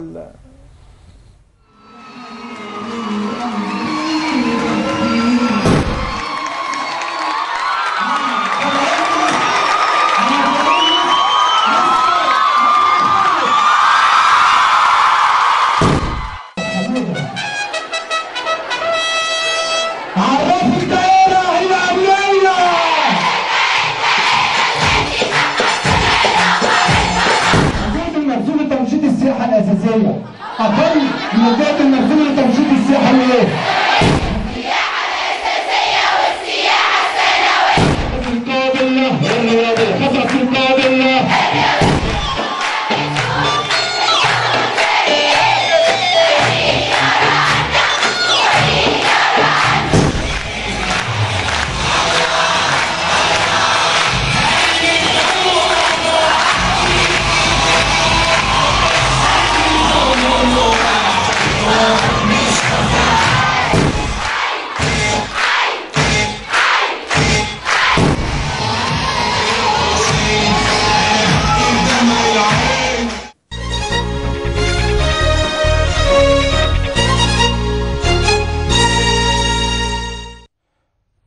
طيب أستاذ عمر ليه بقى اللجوء لهذا الأسلوب؟ وما انت شايف كم الصخب الكبير وال والإزعاج؟ يعني هل هل ده يمكن أن يكون وسيلة للاستيعاب؟ حضرتك اولا ده أسلوب مقرر في وزارة التربية والتعليم اسمه مسرحة المناهج. أنا عندي درس اسمه السياحة والدرس ده اتلغى في المنهج الجديد بقاله سنتين. فأنا عملت مسرحية كاملة عن السياحة مسرحية كاملة عن السياحة في الوقت اللي فيه كانت السياحة عندنا ما كانتش على القدر الملائم. فأنا ما أعمل مسرحية فتتسمى أغاني مهرجانات فكل يسمي كما هو يريد. إنما أنا بتكلم إن أنا عملت مسرحية كاملة. آه. في. وجبت الفقرة بتاعت الشخص اللي موجود دوت حضرتك وكان فيها تدعيم جامد جدا جدا لمسألة السياحة. فالنهارده أنا استخدمت جسمي قدام حضرتك ده والله ذكاء لا مقرر طب الراجل اللي جيب جلابية بيرقص ده جاي منين؟ لا ده حضرتك دوت فقرة لا تمثل 10 دقائق من الحصة الثلاث ساعات. يبقى أنا مش عامل حصة يا جماعة ده أنا عامل عرض مسرحي أو هو شعور الطالب بالارتياح وهو بيذاكر ده يزعل الناس؟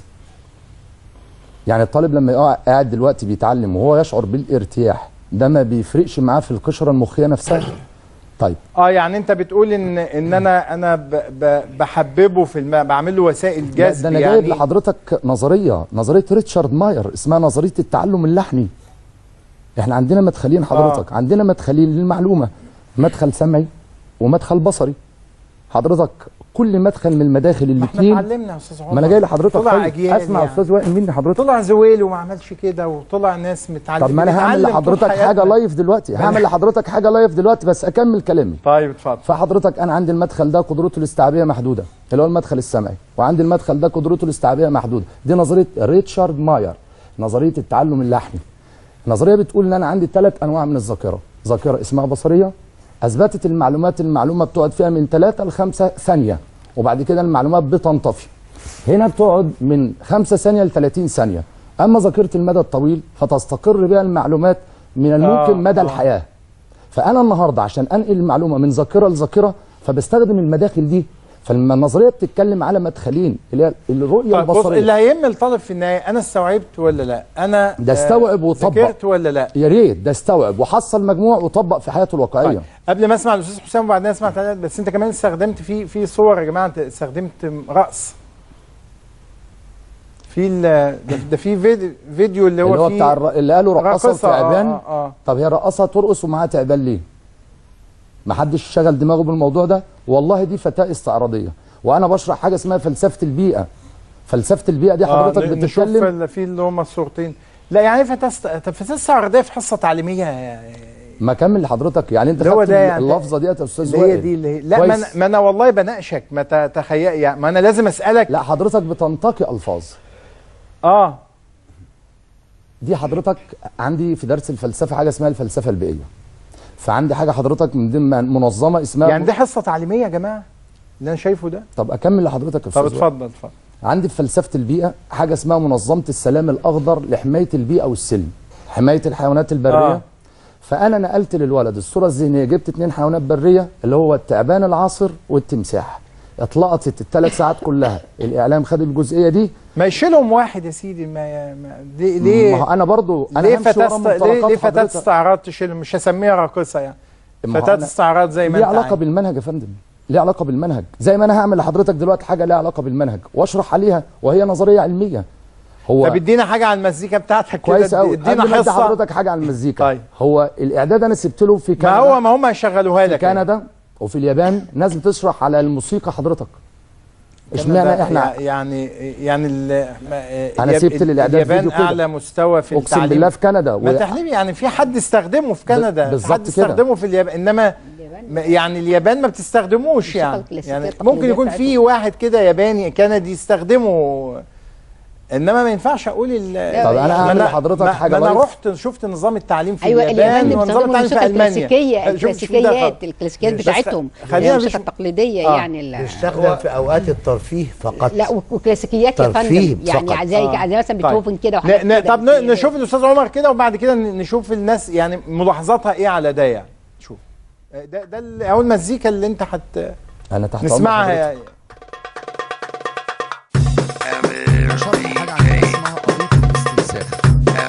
التراك اللي أنا بشغله للطلبة 10 دقائق في الحصة. اتفضل حضرتك. نعجة نعجة نعجة أولى تانية تالتة. نعجة نعجة نعجة أولى تانية تالتة. أخدنا المادة الوراثية مين النعجة إيه الأولى؟ أخدنا المادة الوراثية مين النعجة إيه الأولى؟ خدنا بويضة مين النعجة مين النعجة إيه التانية؟ نعجة نعجة نعجة. أخدنا المادة مين الأولى أخدنا بويضة مين التانية. دمجنا بويضة مع المادة دمجنا بويضة مع النعجة. ونقلناها الرحم النعجة الرحم النعجة التالتة. إيه اللي أنا عملته دلوقتي حضرتك يا أستاذ وائل؟ استاذن التراك بقى يقف إيه اللي أنا عملته دلوقتي؟ استخدمت حضرتك تعلم بصري. أنا عندي ثلاث نعجات في قضية الاستنساخ.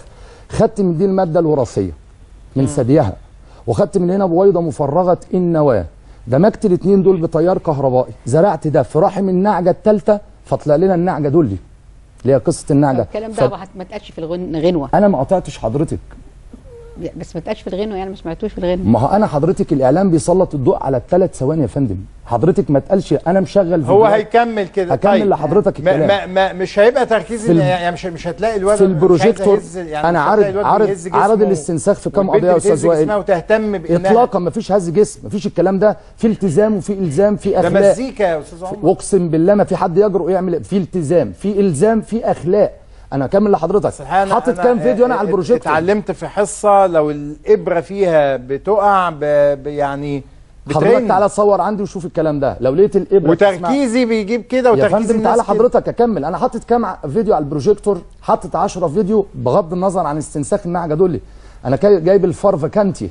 واخدين فيديو كامل عنه. آه. جايب استنساخ النبات طيب. على فيديو كامل بالبروجيكتور طيب. خلينا عشان قبل بس ما اسمع برضه تعليقات أستاذ حسام هارون. يا جماعة القضية يعني اقنعوا الناس بهذا الأسلوب طالما إنه عامل هذا الجدل لأن بسأل التلاميذ والنشء والأطفال. وأنا أستاذ حسام بعتذر لك طبعا كنا كنا هنسجل مع ال- الطلبة والطالبات عندك والناس وللأسف إحنا اللي ما التزمناش بالموعد فأنا بعتذر لهم هم لأنه كمان كانوا جهزوا نفسهم يعني. آه، ندخل بقى في الموضوع. انت كمان بتستخدم الأسلوب نشوف الأستاذ حسام هارون. عندك مشكلة فنية. طيب لغاية ما ما, نجهز بس. أستاذ حسام ال ال الأسلوب بيوصل معلومات ولا زي ما قلت في المقدمة بيشيع التعليم لم- لمثواه الأخير؟ آه، بص حضرتك يا أستاذ وائل آه، أول حاجة أنا بحب أوصل لدماغ الطالب. بمعنى هو الطالب دلوقتي بيحب أغاني عبد الحليم حافظ ولا أغاني المهرجانات آه في بيحب أغاني عبد الحليم حافظ 90% حتى من الجيل لا. لا أنا بتكلم أنا بلعب في الفترة اللي هي مثلا من آه، من سن ثالثه إعدادي أولى ثانوي ثانية ثانوي ثالثه ثانوي طب لو أنت شايف إن أغاني المهرجانات فيها انحدار في. الذوق وتدني. ما هم حابينها ما هو الناس ممكن تكون تحب تحب صور خليعة لو أنت السن المراهقة خطر. طب ما أنا على ما حضرتك أنت لو قلت له تعالى شوف صور خليعة ما يعني هل أنا بطلع بيه ولا بنزل بيه؟ طب أنا هكمل لحضرتك. أنا لقيت مثلا آه، معظم ال- الطلبه اللي عندي بيحبوا الأغاني الس- السريعة. طبعا الناس بتقول أغاني سريعة يعني اسمها مهرجانات. ما في حاجة اسمها الراب. الراب ده رتم سريع. ما الراب ده طب رتم سريع نشوف عشان كان في عيب فني بس نشوفه دلوقتي. استقل شريك والمشتركة التانية استقل بارودي توفيق في راس الدين. قال لك انجليز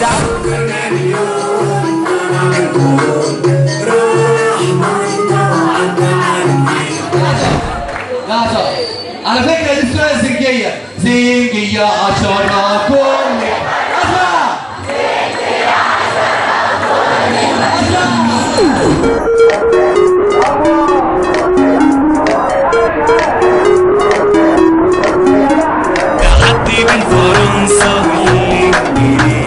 عشان مصر بايظة من عثمانيين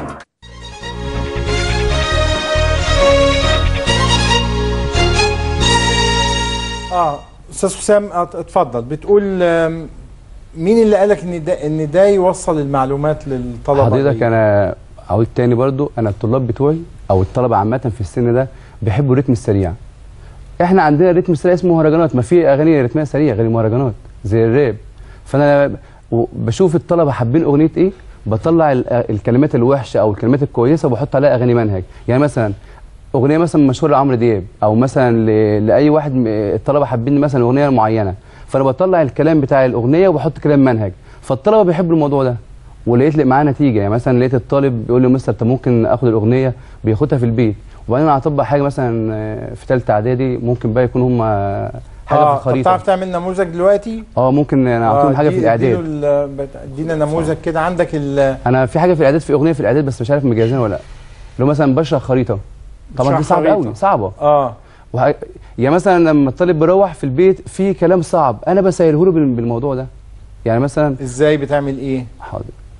آه مثلا عندهم في ثالثه اعدادي في المايك شغال كده ولا؟ آه آه شغال. عندهم في ثالثه اعدادي في مثلا آه، درس اسمه تضاريس والمناخ آه. الدرس ده صعب. يعني كل ثالثه إعدادي لو عملت مداخلات هيقول لك أصعب وبعدين آه، أصعب درس في ثالثه إعدادي هو درس اسمه تضاريس والمناخ اخلاق مناخيه ليه ليه؟ ما كلنا درسناه؟ لا طب ما أنا درسته بس قصدي يعني بقى في حاجة صعبة على الطلبة. طب بتسهلها لهم إزاي؟ حاضر. مثلا في خريطة اسمها خريطة إفريقيا مم. تمام؟ اللي هو كان مشغلها من شوية. آه الخريطة ديت مثلا بيقول لك شرقا المحيط الهندي غربا المحيط الاطلنطي فوق بحر المتوسط وفيها ثلاث دوائر عرض سرطان واستواء وجاد أنا بقول مثلا ببدأ أشرح أقول لهم يا بصوا يا أولاد شرقا هندي غربا أطلنطي فوق متوسط. بس عاوز أبسط لهم أبسط المعلومة بقول لهم آه. هندي يمين أطلنطي شمال. لا لا اديها وال- على طول اديها. كتلة واحدة.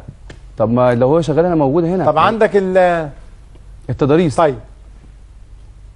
ب... ما هو لا- لازم بمزيكا ما هو ده آه. بتديله ال- ما هي كلها لا بقى موسيقى لا لا مجالة عادي عادي. مزيكا يا أهو، أستاذ ماشي. هندي يمين أطلنطي لا لا لا. استنى لغاية ما يجيب لك المزيكا آه. أستاذ فايز نعم آه، ده يعني لما بتسال يعني هل شايف ده آه، أسلوب لتوصيل المعلومات في عصر هو شايف إيقاعه سريع و- وإيقاعه كده ولا ده لا علاقة له بالتعليم ويطلع لنا اجيالا آه، متدنية بداية آه، إحنا اولا آه، عندنا منظومة التعليم منظومة يعني مريضة.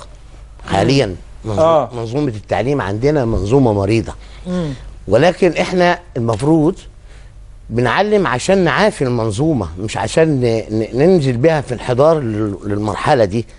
آه. التعليم يا أستاذ وائل التعلم مش التعليم مش يشتغل على الأذن بس.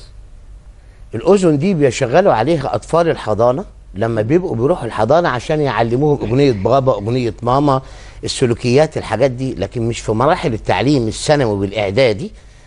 أعلمه ال ال ال طب ال الكلام اللي قاله الأستاذ في في في في التضاريس وفي الخريطة والبتاع ما هو يتقال من غير إيقاع يتقال من غير كده والمدرسين بيشرحوه كده. لكن اللي أنا عايز أوجهه اللي أنا عايز أقوله للأساتذة هل دي طريقة تعليم؟ ولا وسيلة للتع... للتوضيح. دي لا هي طريقة ولا وسيلة در- درس... درسناها إحنا في, الت... في كليات التربية ولا في التعليم نهائي. دي مش طريقة تعليم طريقة التعليم لازم بشتغل مع المخ كله. لازم يكون في ابتكار والطالب يحصل المعلومة مش أحفظها. أحفظها يبقى أنا بخلي واحد أصم بسجل وهو بيقول. بيقول بيقول معلومات. طب اذا إذا كان ده يعني آه، هيسهل لل- للطلبة هو شايف دماغ ال ال ال الطلبة عنده التلاميذ إيه والطلبة إيه فبيشوف إن ده بيوصل لهم كويس المعلومات. مش بيوصل والعيال لهم. مبسوطين مش كده. بيوصل لهم. الطالب بيحفظ أغنية. بيحفظ كلمات أغنية. مع التكرار. من أول الأغنية اللي يعني أكيد أكيد وأنا متأكد من الكلام إن الأساتذة هيقول ال- في أول المنهج الجزئية ديت وعلى ما يجي في المراجعة عشان يقولها تاني مش هيقدر. طيب عشان دكتور يقولها تاني هل مش شايفة ده في يؤثر؟ أنا عايزة أسمع الباقي معلش. شايفة ده يؤثر سلبيا بس وجهات النظر لا لا ما أنا لازم مش هقدر استمع لازم ت- تبقى في عايز وجهات. نظر في النص. في يعني. وجهة نظر علمية يعني. ثانية بس يا أستاذ آه. هنا. ده كتاب المدرسة اللي بنعلمه. آه الأستاذ قال التعلم والفرق بينه وبين التعليم. التعلم هو تغير شبه دائم في السلوك. نتيجة الخبرة الممارسة التدريب. إحنا اللي عملناه ممارسة.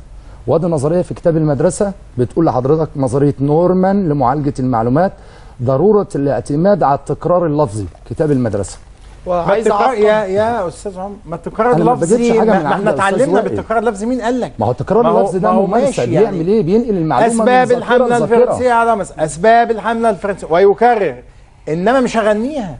ومش هستخدم أغاني ما هي دي نظرية متهمة. بالابتذال والسقوط لا إحنا أنا قلت لحضرتك أنا على المستوى الشخصي أنا بس برد على الدكتور بقول لحضرتك إحنا لا بنعمل ابتذال للتعليم ولا بنعمل أي حاجة خاصة بالتعليم طيب. لأن أنا ما قلتش لحضرتك دكتور أبو سينا بس عشان آخد بس أنا عندي هنا بتاع. حسامة ونسمعه بسرعة ما أنا هسمع تعليق نسمع. مستر حسام مستر حسام مستر حسام مستر حسام مستر حسام مستر حسام. أكيد كلامه في الامتحان في الامتحان. أكيد كلامه في الامتحان في الامتحان.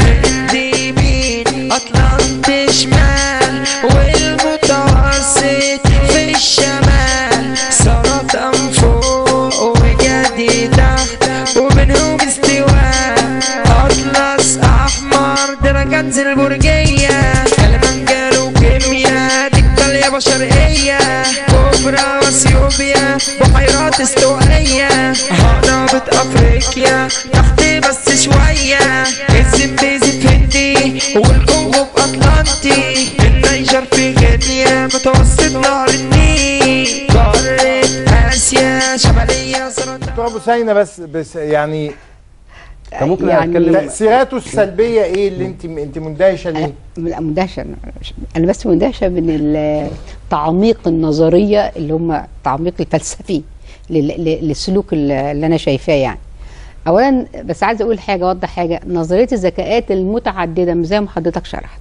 نظرية الذكاءات المتعددة يقصد بيها هي قدرات الفرد على امتلاك مهارات وطرق تفكير تختلف عن فرد آخر. يعني أنا عندي ذكاء معرفي حضرتك عندك ذكاء بصري حضرتك عندك ذكاء سمعي واحد عنده ذكاء اجتماعي. ده أنا أنا أنا. بشرح بشرح لحضرتك معلش أنا أنا يشمل 100,000 بشرح. أنا أنا بشرح لحضرتك. بسال بقول لك فالمفروض إن المعلم إزاي المعلم يستخدم الذكاءات ينمي المتعددة؟ الذكاء عند الطالب. معلش يا فندم ينمي الذكاء عند الطالب. اسمعني. الشخصي الاجتماعي. الذكاء ينموا المنطقي بايه بال... بينميه. بالرقاصة يعني مش لا، لا حضرتك لا لا يا فندم. حضرتك اللي بتقوله ده الكلام ده غلط. أنا ما حضرتك انت الم... لا يا فندم ممكن لو سمحت حضرتك بعد إذنك. أيوه ما أنا لما إن لما أجيب له بنت شايلة تعبان فتاه استعراضيه كده أنا بودي تفكيره لحاجة تانية يا خالص. لا معلش مع شباب مراهق برضه وشباب يعني. هنا لابسه لا أحمر. المهم ما علينا شباب ما مراهق بقى هيبص انت يعني هو هيركز في ال- في اللي أنت بتقوله ولا في في الم- في الحاجات لا بس أنا عايزه أشرح حاجة بس يركز يا يا أكتر يا من يا اللي يا مقل- من اللي مؤلف المنهج. أقسم بالله أنا عندي طلبة بتركز في الكلمات والمفردات اللغوية أكتر من الناس اللي مؤلفه المنهج. طالب ثانوية عامة النهارده العقل الجمعي إحنا بنغفله اوائل بيه. لا، أنا عايزة بس العقل. الجمعي خلاص نعمل التعليم في قاعات أفراح بقى. خالص. هو أيوه ما هو بتعمل قاعات أفراح. خالص. ما هي؟ قاعات. افراح ما هي قاعات المهم بس عايزة أوضح حاجة. آه. المفروض إن المدرس بقى بيعمل إيه؟ المفروض إن هو بيعمل حاجة اسمها اختب- اختبار لذكاءات الطلاب اللي عنده وده حاصل في بعض المدارس. أنا بتكلم إن أنا إيدي في العملية التعليمية. آه مانيش قاعدة خلاص بيعرف دوت دوت عنده ذكاء لا آه، دفتر ولا كتاب لا ما أنا بقول لحضرتك بعدين المفروض. بتعامل مع الطلاب إن ده عنده قدرات بصرية أكتر ده عنده قدرات. وأنا بعمل أعمل آه، استراتيجيات تعلم تتناسب مع جميع طب مستويات ليه ما. تقوليش ان إن ده يعني جيل يختلف يعني أنت اتعلمتي طب وأنا اتعلمت جيل يختلف أنا بكلمك على الجيل دلوقتي ما اولا أنا بناتي متخرجين من الجامعة ولسه عندي آه، في الثالثه إعدادي وأنا بشتغل أصلا في حاجة في مراجع خارجي وبشوف. بروح مدارس وبقيم مدارس وب... يعني أنا إيديا في العملية التعليمية يعني فاهمني حضرتك فأنا طيب بشوف في المدارس النهاية أنت شايفة ده إيه حضرتك ده- بتقيمي ولا بتقومي يا دكتور؟ حضرتك تقييم ولا ده تقويم يا دكتور؟ تهريج. ده ده بعدين حضرتك التعليم تهريج إزاي؟ ده هل. هل هل حضرتك. طب هل الآباء آه، وأولياء أهو ده اللي أنا عايزة أقوله. العلم لما بص لما يشوفوا. أولادهم بينجحوا ومستواهم بيرتفع بال هي دي المشكلة يا أستاذ. هل هل العيال بتنجح ولا بتضيعوا تنجح العيال؟ بتقول 99 و97 أقسم بالله يا أستاذ وائل. لو سمحت. آه، طبعا أنا ماليش أتكلم في الكلام ده بس عامة دي, هي- هي بتقول ده تهريج، مش سنه بس تعليم الدكتور يعني. قال التقييم. طب ماشي اتفضل بتقول بروح مدارس بعمل تقييم. آه. تقييم ولا تقويم يا دكتور؟ أنت هتختبرني؟ لا والله أقسم طب بالله ممكن حاشا أتكلم. لله أستاذ وائل. حاشا لله أنت هتختبرني؟ لا، ممكن أستاذ مش. عارفة دقايق، يعني. خمس دقايق. طب غنيها لي يمكن احفظها أغنيها لحضرتك حاضر. اتفضل. حضرتك أنتوا. بتتكلموا في في إن إحنا مثلا عملنا طريقة صح؟ طب ليه الطلبة ما بتروحش المدارس؟ يعني أنتوا ماسكين فينا ان ده معلش واحد زي أستاذ علي أنا عارفه على المستوى الشخصي أو أستاذ عمر أو آه. أستاذ شريف الشوقي. في مدرسين غيرنا بيقعدوا في البيت أساسا ما, ما, بيتعبش في التحضير بينزل بيقول أي كلام وخلاص. إحنا عشان بنعمل كده بنحضر وبنسهر عشان نوصل للطالب إن هو بيجيب الدرجة النهائية. حاجة تانية مش أنت بتقول التعليم بتاعنا كويس؟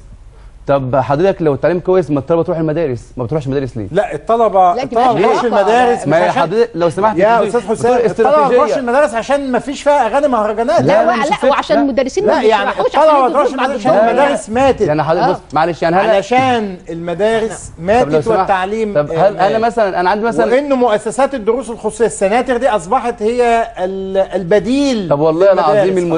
السناتر التعليمية هي اللي بتحل أزمة التعليم في مصر. ليه فيها مدرسين طيب. شطار طب بس عايزة- ماشي، قبل ما أستاذ اسمع وائل. أستاذ علي أستاذ علي بس الدالي المؤهلات إيه؟ أستاذ علي الدالي عشان أسمع برضه بسرعة؟ الأستاذ شريف أستاذ علي. الدالي مؤهلات ال- البكالوريوس حضرتك آه. يعني هتاخدي مكان أستاذ وائل لا؟ لا لا أنا بسأل بس أنا بقول لأستاذ وائل عايز أعرف المؤهلات ال- ال- بتاعتهم إيه المؤهلات ليسانس آداب وتربية حضرتك جامعة عين شمس يعني حضرتك خريج. تربية؟ آه كلكم تربية؟ لحضرتك طيب. أنت حضرتك ما. بتخلينيش أكمل الجملة. لا ما أنا بسأل تربية. ده بس والله عايز اعرف تربية ولا لا ما هو ما هم يعني آداب وتربية. شمس تقدير عام جيد آه. جدا. حضرتك طيب. دبلوم عام أستاذ علي قبل ما أنا خليني بس أقدم أنا ليا موقف. وسبت يعني الماجستير عشان الطرق التقليدية آه، آه، القديمة. طب اتفضل. في جامعة يا حلوان جماعة لو سمحتوا الحوارات الجانبية بس اتفضل. كان في موقف كده حصل معايا في الكلية في وأنا في ثالثه بالظبط. كانت الدكتورة اللي كانت بت تشرح لنا طرق التدريس. كانت طالبة مننا زي تكليف كده كل طالب يقدم ال- ال- الجزئية اللي هو آه، بحث آه. فيها بطريقة مميزة. غير الطرق اللي هي موجودة آه، في مناهج التدريس التقليدية اللي هي النمطية اللي هي موجودة في الكتب. آه، فكانت عرض علينا نظرية الذكاءات المتعددة اللي الدكتورة لسه متكلمة عنها. فقالت كل طالب من اللي موجودين يستخدم ذكاء من الذكاءات المتعددة عشان خاطر يعرض منهجية جديدة أو يعرض آلية جديدة من آليات التعليم. كل ده حلو. إيه علاقته مع باغاني جاي جاي, لحضرتك الذكاء الذكاء يعني. الموسيقي. ده ذكاء من ضمن الذكاءات السبعه عند جاردنر اللي هو العالم الأمريكي طب أجيب لهم عمر خيرت. أجيب آه، لهم ما بص يعني اطلع حضرتك أرتقي بذوقهم أجيب لهم فيروز. لا لا هو هو. حضرتك هو الموسيقى حافظ يا ريت. ما أنا اللي اطلع بذوق الناس. أنا لو. نزلت ال... أصل أنت بتقول لي هم عايزين كده. طب ما هم عايزين صور بعض العيال المراهقين عايزين صور خليعة. هو ال- ال- ما تيجي نعمل لهم المنهج. على صور خليعة؟ هو الموسيقى الثقافية يعني. لمستوى الطالبات والطلاب اللي موجودين عندنا بتختلف من مكان لمكان ومن منطقة لمنطقه فأنا النهارده لو لقينا إن في نظرية كاملة اسمها التعلم اللحني لعالم اسمه ريتشارد ماير بأكد عليه تاني أهو نظرية التعلم بالوسائط المتعددة. أنا أتمنى نشارك أساتذة أو دكاترة كلية التربية الموسيقية. هم يرتقوا بينا وإحنا نرتقي بيهم ونعمل ده, عمليه ده لو قلت لهم إن أنت بت... بتعلم على أغاني المهرجانات. من ضمن ال... شوف؟ شوف أنت بتقول إيه؟ التربية الموسيقية. هو كان في وزير انت- من وزراء التعليم السابقين حضرتك كان هيعمل النظام دوت وكان هيستعين بدكاترة في كلية التربية الموسيقية؟ لا استخدام استخدام ال- الموسيقى واستخدام الفن محدش هيبقى ضده يعني. ما في ما, ما يمكن إنك أنت يبقى في حصص متعلقة بال بازاي توصل معلومات للناس عن طريق أداء مسرحي أم عن طريق أم، أم، مزيكا. لكن تهذب ال... أشرح لحضرتك طريقة يعني بالرخامة. تبقى مزيكا من اللي بتهذب النفوس كده مش اللي حضرتك بتنزل أشرح معلومه بالناس. معلومة بالرخامة. طيب أنا بس مصطلح عشان. الراجل خدنا منه الكلمة ف- اتفضل. اتفضل. آه، فكان في من ضمن الذكاءات الذكاء الموسيقي يعني. فأنا عرضت الدرس آه، على طريقة الذكاء الموسيقي. إن أنا طبعا هو ال- الموسيقى وسيلة وليست غاية. الموسيقى وسيلة آه. وليست غايه إحنا مش بناخده طريقة في التعليم هي مش طريقة أساسية هو في طريقة منهجية الأول إحنا بنعالج المعلومة بنبدأ الأول بشرحها بنبدأ بتوضيحها بس انت ما بتعملش بنطلع القيم بنطلع لا لا بن... آه. بنطلع القيم المهرجانات. ب... لا لا مفيش مهرجانات خالص في الموضوع إحنا بنطلع ما القيمه الأول سامعينه أنا. هتكلم أنا هتكلم مثلا على يعني على الطريقة اللي, آه. اللي أنا أستاذ عمر بنتبعها اللي هو في رتم كده موسيقي اسمه ال tempo ده علميا بينشط جزء في المخ آه، أو مو- موجات معينة. موجات معينة في المخ اسمها الألفا آه، الموجات ديت هي موجات كهربيه أول ما بتسمع نغمة ال tempo بت بتتحرك وبيحصل ده- ده- نشاط عقلي. نغمة اسمها ال tempo اللي إحنا شغالين بيها دي دي علميا عند أنا بس عايز أقول لك ده ده علمي الكلام ده. آه، طب- علمي. طب خلينا نشوف الأسلوب طريقتك في ال- طالما أنت بدأت بالحديث ونتكلم.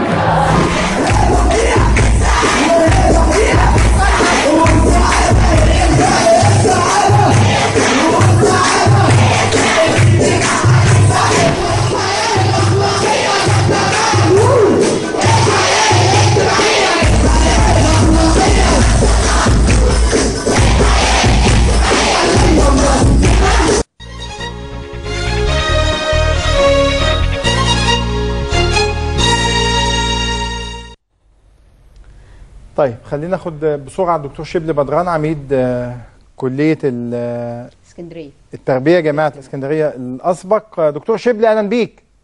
أهلا بحضرتك دكتور شبل يعني بالتأكيد إن أنت تتتبع كل وسائل التدريس في كل دول العالم وأيضا في كل الأزمنة والعصور يعني.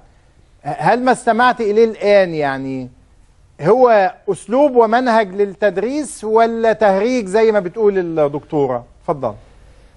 اولا مساء الخير يا أستاذ وائل وأنا شاكر لحضرتك وللقناة على إثارة هذا الموضوع لأن الظاهرة دي بقى لها أكتر من خمس سنين منتشرة في العواصم الكبرى اللي هي فلسفة والاخوه بيتكلموا بالعلم فيها كأن ما يقون به علم. بس إحنا في الحقيقة يا أستاذ وائل بنتكلم عن العرض مش المرض. هو الناس والأساتذة دولت بيعملوا كده ليه؟ لأن ليه؟ الولد عايز يجيب درجات عالية عشان ينجح عشان يروح كلية متفوقة لو أن عدد الكليات المتاحة في المجتمع تكافئ عدد الطلبة ما لجأ الطلبة للصراع ولهذا التنافس الأزمة في إنك أنت نظام التعليم عندك قايم على الحفظ والتذكر فدولت ناس بيحفظوا الطلبه أنا أنا موافقك. تماما يعني. وده وده وده أسلوب يسهل آه. الحفظ يعني. وأنا عايز بس أبلغ الدكتور طارق شوقي. أقول له ما علاقة ما يتم الآن في المراكز الدروس دي ببنك المعرفة اللي حضرتك بتتكلم عليه يعني.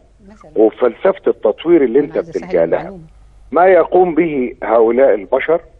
أمر طبيعي ومنطقي لأن تعليمنا قايم على الحفظ والتذكر.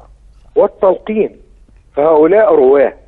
طبعا الصورة اللي حضرتك عارضها مش آه، مسخرة وشيء يعني لا يقبله بشر وعمرنا ما سمعنا عنه. وأنا هقول له إيه الطرائق الحديثة اللي المفروض لو خريج كلية تربية يكون عارفها؟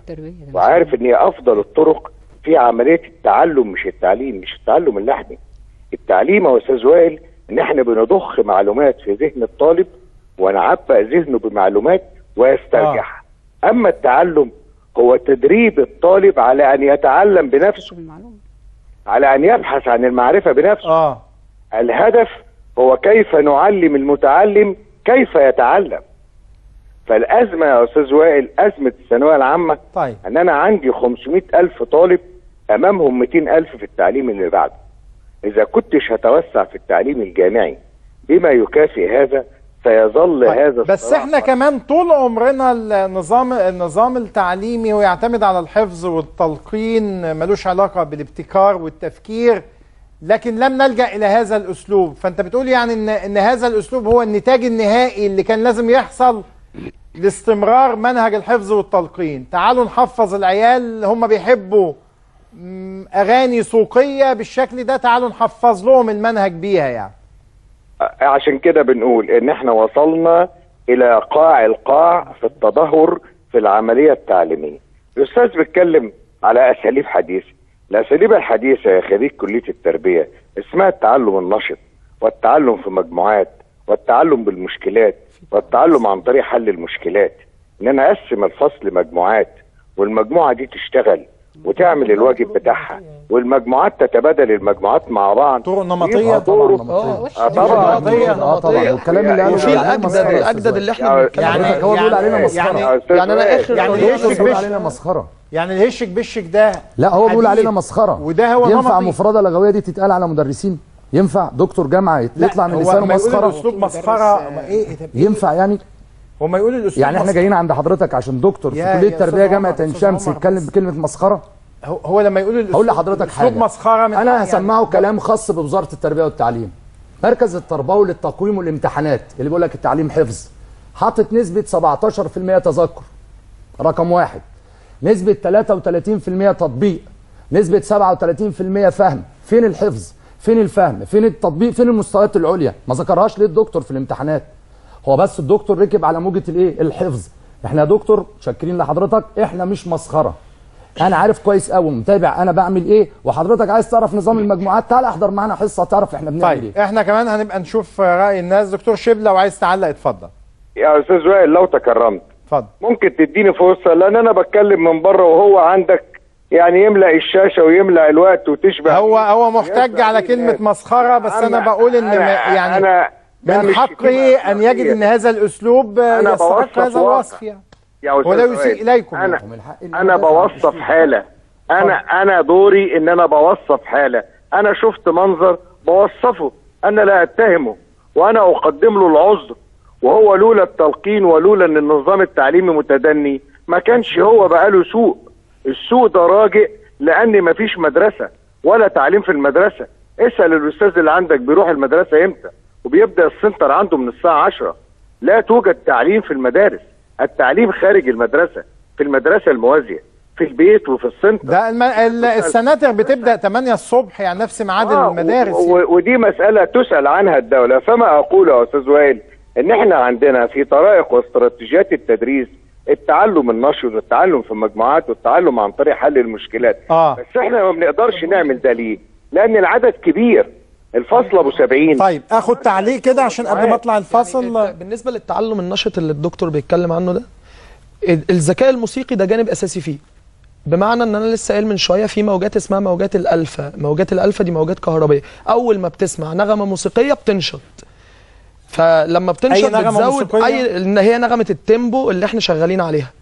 طب أنا لو حابب مايكل جاكسون تعمل لي ما, ما يعني ما لو حابب لا إحنا بنتبع إحنا بنتبع وسيلة تبقى تبقى متوازية مع وده الحقيقة يعني يعني ما ما طيب يعني ما ما مش لاقيين إلا أغاني المهرجانات يا جماعة. دكتور عندكم علم. نفس فسيولوجي بعد إذن حضرتك أو آه. طب نفسي؟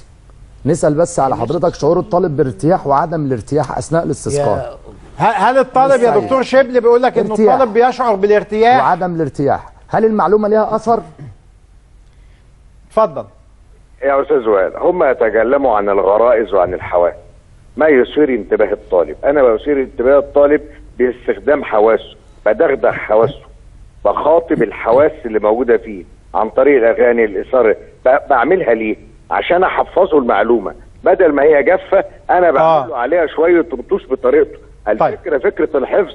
لو ان يا أستاذ وائل هدف التعليم إن أنا بعلم الطالب إزاي يتعلم ويفهم. وأنا اسال الطالب عن وجهه نظره.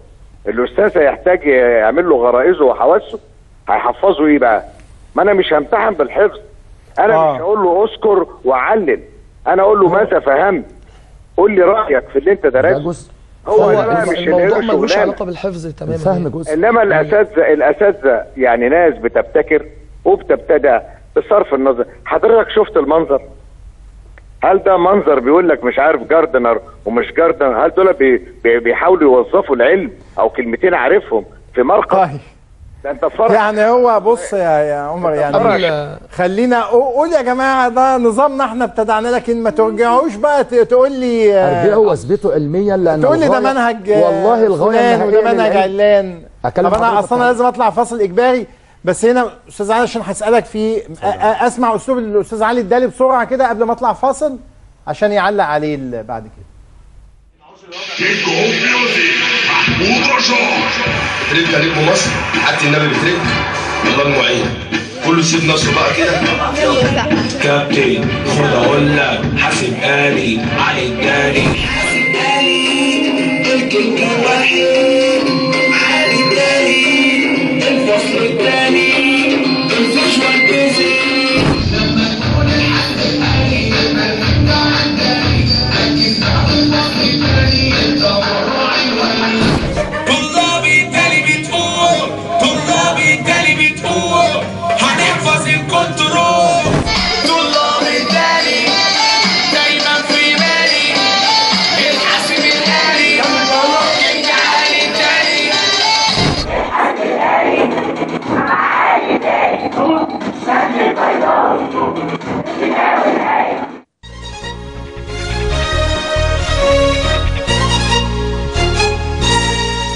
نطلع فاصل وهنكمل معاكم ونتلقى اتصالاتكم. هل ده انعكاس لانهيار التعليم في مصر آه ولا آه ده هم شايفينه أسلوب يتمشى مع جيل إيقاعه كده ودماغه كده آه والخطأ فين؟ عندهم ولا زي ما بيقول الدكتور شبل في نظام التعليم في مصر؟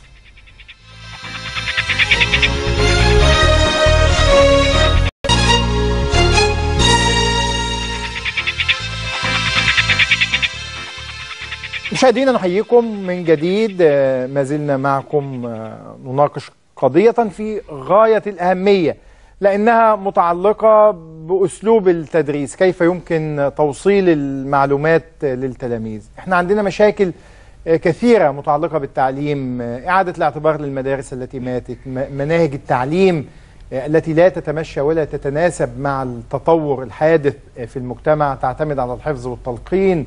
بعيدا عن الابتكار والتفكير آه، عندنا مشاكل آه، ضخمة تانية حتى متعلقة بنظام القبول بالجامعات اللي بيعتمد فقط على المجموع. عندنا كابوس الثانوية العامة. كل دي قضايا ومشاكل بنناقشها معاكم يعني.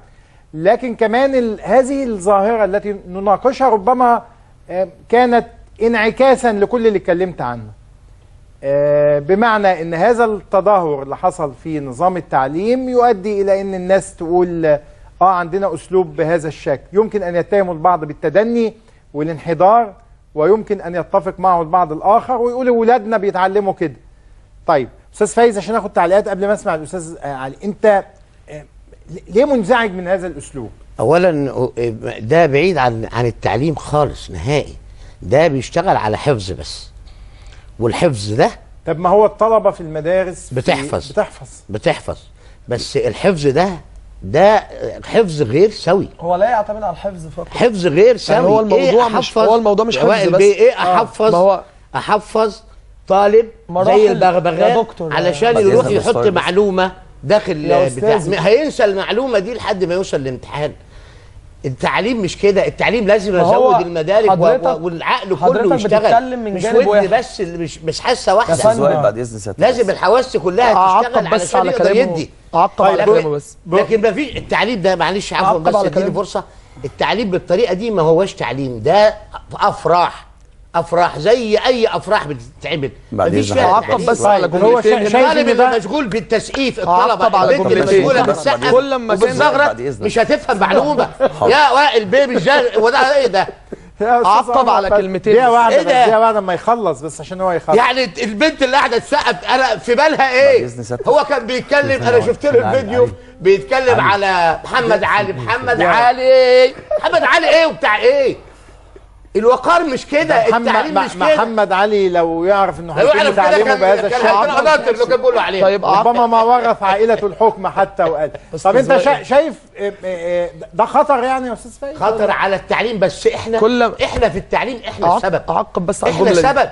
ما بقولكش. بس هتلاقي أولياء الأمور سعداء جدا لا لا لا لا مش سعداء أتحدى. ولي أمر راجل ولي أمر رجل مش امرأة راح المهرجان ده وشاف. ليه ليه ليه؟ ما فيش فيه راجل وموجود إلا الرجالة اللي شغالين. لكن كله أولياء أمور اللي راح. طب ولية أمر. راح عليه مكان زي ده. لأن هو مكان فيه سقف ورأس ومحلاهم عندنا الجماعه بس أنت واخد بالك؟ أي والله. مش عايز أهين الناس. مش إهانة. هي راح طب خليه يجيب الفيديو ويوريك وهي بالسقف كده مع الكاميرا شغالة. ادينا فرصة ثانية يا وائل يا وائل بيه مش كده. مش ده التعليم بعد إذنك. يعني إحنا هات بنناقش له هات له طيب. حتة يا أستاذ أشرف لا يجيبها هو هات أنا شفتها. أنا. النهارده طول النهار بسمع فيديوهات. هو ده تعليم يا راجل. طب هتفتكر نعجه نعجه نعجه ولا افتكر- عمري نسيتها كم في حياتي. كم نعجه طيب ثلاثة والله وأنت في البيت لا هتفتكرها. قدام شوية. لا بس مش طيب مش طيب. يلا نكا إحنا هنا يعني هنا ب- آه، آه، للتوضيح. اعقب على الجملتين بس. هتعقب عشان الأستاذ علي اتفضل آه آه. هو دلوقتي الأستاذ لسه قايل آه، هم هم فرحانين فهو متضايق إن هم فرحانين. لا مين قال. هو أنا هو سعيد. طبعا في في نظريه لا، بس يعني يا وائل أفرح- بيه. أفرح في في في مكان الفرح. آه، ثانية واحدة بس. أنا جاي أتعلم. هوصل هوصل بس لل- أنا للمعلومة هقول بس. حاجة بعد إذنك بعد إذنك. بعد إذنك ويشهد آه. عليا اللي سامعيني كلهم. آه. أنا كنت شغال مدرس. في بداية حياتي كده لل- للمستنفذي الرسوب. عارف يعني إيه مستنفذي الرسوب؟ آه. ثالثه إعدادي يعني ضايعين. الطلبة. مستنفذي الرسوب. كنت بطلع النسبة 99% ويشهد عليا صاحب المدرسة اللي موجود دلوقتي. والله 99% من خمس فصول طب مستنفذي أنت مدا... طب أنت مدرس ولكن لا كنت بطبل ولا برقص ولا بغني طب حاجات تقليدية برضه. طب ما تعمل ما تجرب كده طيب. ما بقاش يجي طيب. منه دلوقتي. طيب أستاذ وائل دلوقتي في في نظرية لسروندايك ده عالم نفس يا جماعة النبي بلاش النظريات. إحنا هنتكلم هنتكلم بشكل علمي أصل هو بيتكلم بلاش عشوائي. خلينا نتكلم عايزين نتكلم بشكل علمي أنا مش هكلمك. تقعد تقول لي جان جاك روسو وموتوسيكل أنا أقول لك جان جاك روسو عمل إيه؟ ما إحنا مش عايزين نتكلم. خلينا نقول يا جماعة عايزين نتكلم بشكل عشوائي. ده يعتمد على بشكل علمي لا يا جماعة بس لا عايزين نتكلم يا جماعة بس لو سمحت ولا حاجة. بشكل عشوائي. هو ما هي دي كلها معتقدات. دي معتقدات خاطئة في دماغ الناس. كلنا بنتكلم كده 30 ثانية واتكلم أستاذ علي. اتفضل. 30 ثانية. أنا جددت مصطلح في الفلسفة ما تقوليش تاني مصطلح. خالص خالص. أنا أنتوا بتعتمدوا على أغاني. لا لا كتبها سيد سكينة وعلي مطوى هقول لحضرتك هتقعد تقول لي بقى لا جاك روسو هعمل لحضرتك حاجة. في حاجة عندنا اسمها في المنهج اليوجينيا. يعني إيه اللي جاب إيه اللي جاب ده هنا أنا عارف ابوه ولا ده إيه اللي جاب؟ دايك برضو قول لو إزازة وبتاع كل كلما كان الطالب يشعر بالارتياح مش هيصدق. لما استطاع مش هيصدق. تحصيل المعلومات. والله مش هيصدق. وهو ده هو ده بالظبط. ثواني بس ثواني بس هو ده الارتياح. ده واحدة ده, ده مثير محفز ثواني اسمه التعلم السريع أستاذ فايز بص يا أستاذ. يا فندم أنا بسمعه بس الرياضيات. على ام كلثوم. الرياضيات. إحنا بنتكلم بس اذا كان جايب 120 وشهادة معايا. على أم كلثوم مش على مش عارف يديله فوق ويديله تحت في نظرية اسمها لا إله إلا الله. في نظرية اسمها نظرية التعلم السريع. طيب. إحنا بنتكلم في نمط. دكتور وائل. طيب. أستاذ علي بس عشان أنا راجل والله العظيم. يا جماعة والله والله العظيم اللي إحنا بنتكلم فيه المضحكات المبكيات كما قال المتنبي ضحك كالبكاء. مش ممكن يا جماعة إحنا يعني آه، أستاذ علي اتفضل. آه، ده أسلوب تعليمي ولا يعني أكل عيش وتعالوا نعمله بهذا الشكل يعني. ماشي. بسم الله الرحمن الرحيم. أول حاجة آه تاني حاجة أحب أوضح بس إن إحنا مش بنستخدم أسلوب الأغاني بس. إحنا بنستخدم أساليب عشان نسهل الطلبة بتاعتنا. يعني مثلا كلنا مثلا ربنا سبحانه وتعالى مش خلقنا عقلية إيه؟ واحدة. فأنا آه. أول حاجة بدخل أفهم الطالب حصة فهم. افهم. مالكش دعوة أنت هتحفظ إزاي الكلام ده. أنا عايزك إيه؟ تفهم. الحصة اللي بعدها بعمل له بعد كده الدرس بتاعه ده بدل ما هو في طلبة هتروح نصهم يذاكروا ونصهم لأ يبدأ من هنا بقى تلاقي المستويات في طالب شاطر وطالب إيه فاشل. فأنا بعمل له كل الأساليب. أنا شرحت لك. تعالى بقى الأسبوع الجاي مثلا أو الحصة الجاية أنا هعمل لك الدرس ده. بدل ما أنت تقعد تذاكره في خمس ساعات أو يوم كامل أنا خليك تذاكره في أغنية ثلاث دقائق والأغنية بتبقى في نطاق الدرس. يعني ما بيبقاش فيها كلام خارج عن المنهج. يعني أنت عايز عايز تفهمني إن الأغنية دي هي اللي بتبلعه المنهج يعني؟ وفي حاجة يعني لا بعد ما يعني؟ يفهم بعد ما يفهم. إحنا بنوفر وقته بدل ما هو بيذاكر في خمس ساعات. هو في وق... في الصخب ده حد يفهم؟ لا ما هو هات لنا الراجل اللي بيقعد وحضرتك في حاجة تانيه لا وحضرتك المولد اللي أنا شايفه ده ماشي وحضرتك حد هيفهم؟ وحضرتك في حاجة تانيه برضه لو لو الطالب لقيت مثلا إن في طالب مثلا بيسقف بيهز رجليه مفيش الكلام ده. كان هو الطالب بس بيقول الكلام بس بيغني بيحفظ. دي دي والكلام دي بيبقى في نطاقه. فأنا بالشكل ده يعني أنا ده مش كل يا بص يعني, يعني هو المتداول أو اللي هو باذن سيادتك. ده مولد يا جماعة ده مش ده مش فرح كمان. ده دي حصة من ضمن والله والله ده مولد. بص يا طيب. دي حصة من ضمن حصص على مدار سنة. بس. دي يعني دي دي حصة واحدة. يعني مش السنة كلها أو الحصص كلها ما بتبقاش بالطريقة دي. إحنا قلنا دي وسيلة وليست غاية. لا مش حصة الطالب واحدة الطالب حصة واحدة دي حصة واحدة كده. دي حصة واحدة كده إحنا بنعمل وسائل. إحنا بندي وسائل كتير. هو المنهج كله هتديه في حصة واحدة؟ الم... آه، لا المنهج كله بيبقى عقب على حاجة آه؟ عقب على آه، حاجة اتفضل. لو سمحت. إحنا يعني أي مدرس بيشرح الحصة بتاعته عادي. إحنا مثلا بنشرح اخد تليفونين لغاية ما اتفضل اتفضل ما انت هتتكلم إحنا بنشتغل يعني. على مدار السنة. آه.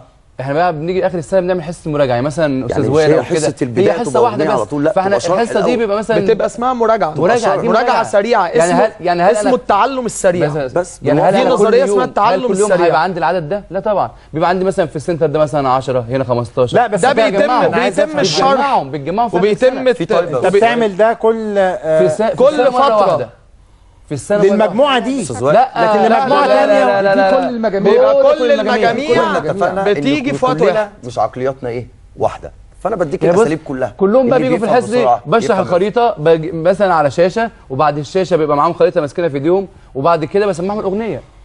وفي إيه الحصص في الحصص كذا أسلوب عشان كل ده عشان يبسط لي المعلومة يثبت لي المعلومة يخش الامتحان يجيب 20 20 بيختار ذوق. يا يا أستاذ حسام يا جماعة أنتوا بتساهموا اولا في اغتيال الذوق آه، أنا اطلع بالناس ما تقوليش هو حابب كده تاني. ماشي. ما هو حابب كده. بس ما أنا قلت لك. في حاجة تانية قلت لك المراهق حابب الصور الإباحية على. النت يعني اعمل له مش طول السنة حصة واحدة. يعني هي حصة في لا السنة مش حصة واحدة. لا لا مش كل حصة في السنة لا. حصة في السنة بنعمل كده بنجمع. لا، لا، و- و- وهل ال- الولد يحفظ كده يعني؟ بيقفلوا طب لو سمحت. أنت لما بص أي طالبة. بعد إذنك- قفلوا إيه يا جماعة. لو سمحت. والله بيقفلوا أنا عندي طلبة إيه يا أستاذ وائل يا جماعة دي كلنا بنتكلم يا إحنا جماعة بنتعب في الحاجتين. أنا مش بفهمك وأسيبك تروح تذاكر أو لا. لا طيب. بخليك تحفظ. مدام دعاء آه، مدام دعاء اتفضلي.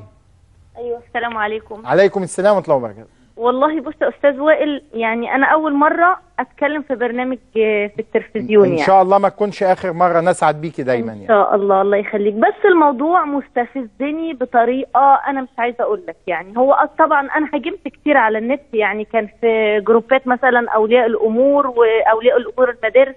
ده مش نظام تعليم خالص. ده كأنه مولد. أو معلش بقى الولاد بقى يروحوا خنكة. هي البلد ناقصه هي البلد ناقصه ده إحنا يعني العيال مخهم طا- طائق و- و- أنا مش عامل ان العيال نوديها الخنكه أنا عايز العيال تصنع مستقبلا يعني أنا صغيره أنا أنا 30 سنه ما ما هوش أنا جيل كبير عشان يقولوا ده آه، تعليم آه، للشباب والسن مش انه شباب أنا لو ابني ده نظام تعليمه لو ببلاش مش هوديه وانه تعليم ده ورقصات ومولد وزار و... إيه التهريج ده إيه التهريج ده. الطالب إحنا ما هو أوقات اللي بيجي عليها وقت يحس بضغوطات ما انت ما بتجبروش أنا يا جماعة بس أنا لا انت الطالب أنت لو قلت للطالب تعالوا هشرح لها طب ما هو. المدرس ال- الكيمياء اللي كان بيستخدم العلاقة الجنسية بقى- بقى- للتعبير عن التفاعلات الكيميائية آه، ما الطلبة بتجيله. كانوا مبسوطين. يعني. الطلبه كده في, في الأغنية. أستاذ سمير من هنا اتفضل ما هي وصلت لكده بقى الراجل استخدم العلاقات أيوة، الجنسية. أيوة، عايز يقول العنصر ده بيتفاعل مع العنصر مش مش هنوصل لكده. أستاذ سمير. السلام عليكم سؤال عليكم السلام ورحمة الله وبركاته. اتفضل. والله والله يا سؤال دي أنتوا يعني بصراحة أنا بحييك وبحيي البرنامج والقناة على ال- على الموضوع الجميل ده بصراحة. الله يخليك إهانة اتفضل ده ده إهانة للتعليم في مصر الزوال بصراحة يعني إحنا شايفين كده كصعايدة إنه ده إهانة للتعليم في مصر. يعني إهانة للتعليم. المفروض كده الدولة تتدخل وزارة التعليم إن- انت أنت ما ما ما, ما اتعلمتش كده ولو وأنا يا سؤال أنا عاوز نسأل بس الدكاترة اللي عندك في أنا خريج تربية جامعة حلوان وأنت لما اتخرجت من من الكلية وصلت وتخرجت اتعلمت بنفس الطريقة دي ونفس الأسلوب دي؟ ما أنا ممكن هو بيسألكوا لك إيه، سؤال يعني هم- أنتوا اتخرجتوا وتعلمتوا حاجة ثانية يعني سؤال يعني ممكن ممكن ممكن كده إن شاء الله المدرسات عندك شعبان في آه المنهج؟ شعبان في المنهج. يشغل ال track أعملها دلوقتي. طب شغل له ال track. هات المايك. هنطلع فاصل آه، لغاية ما هطلع بس هاخد تليفون واطلع منه على فاصل. دكتور دكتور مصطفى اتفضل. السلام عليكم. عليكم السلام ورحمة الله وبركاته. اتفضل يا دكتور. يعني المستقبل يعني مصر ده, ده مستقبل مصر أنا عايز أفهم. أنا مرعوب بصراحة. أنا اللي شفته النهارده أنا مرعوب. أنا قلبي مقبوض جدا على مصر. أقسم بالله ما بكذب عليك. يعني لما شفت ده بتقول قلبي مقبوض على مصر. لأن التعليم هو المستقبل. طيب وهي الطرق الطرق التقليدية هل نفعت هل نفعت البلد؟ يا جماعة بس هل الطرق. التقليدية اللي فضلت 50 سنة نفعت البلد؟ يعني وفقا لكلامه. إحنا بقالنا 50 سنة. بره التصنيف يعتبر يعني. هل الطرق التقليدية دي نفعت؟ ما انتحرش بقى. خلاص لا مش مش وسيلة هو مش هي. مجرد وسيلة للتعلم شوف السريع. وسيلة للانقاذ لكن لا انتهى بعد الفاصل هنكمل معاك صعب أربط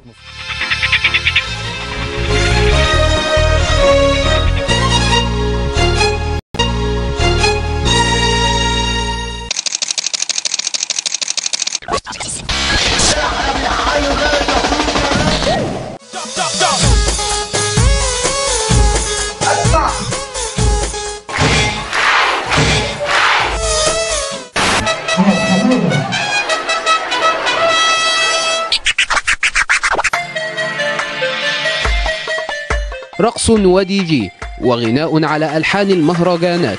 ظاهرة جديدة استخدمها بعض المدرسين في التعليم. على وزن أفعل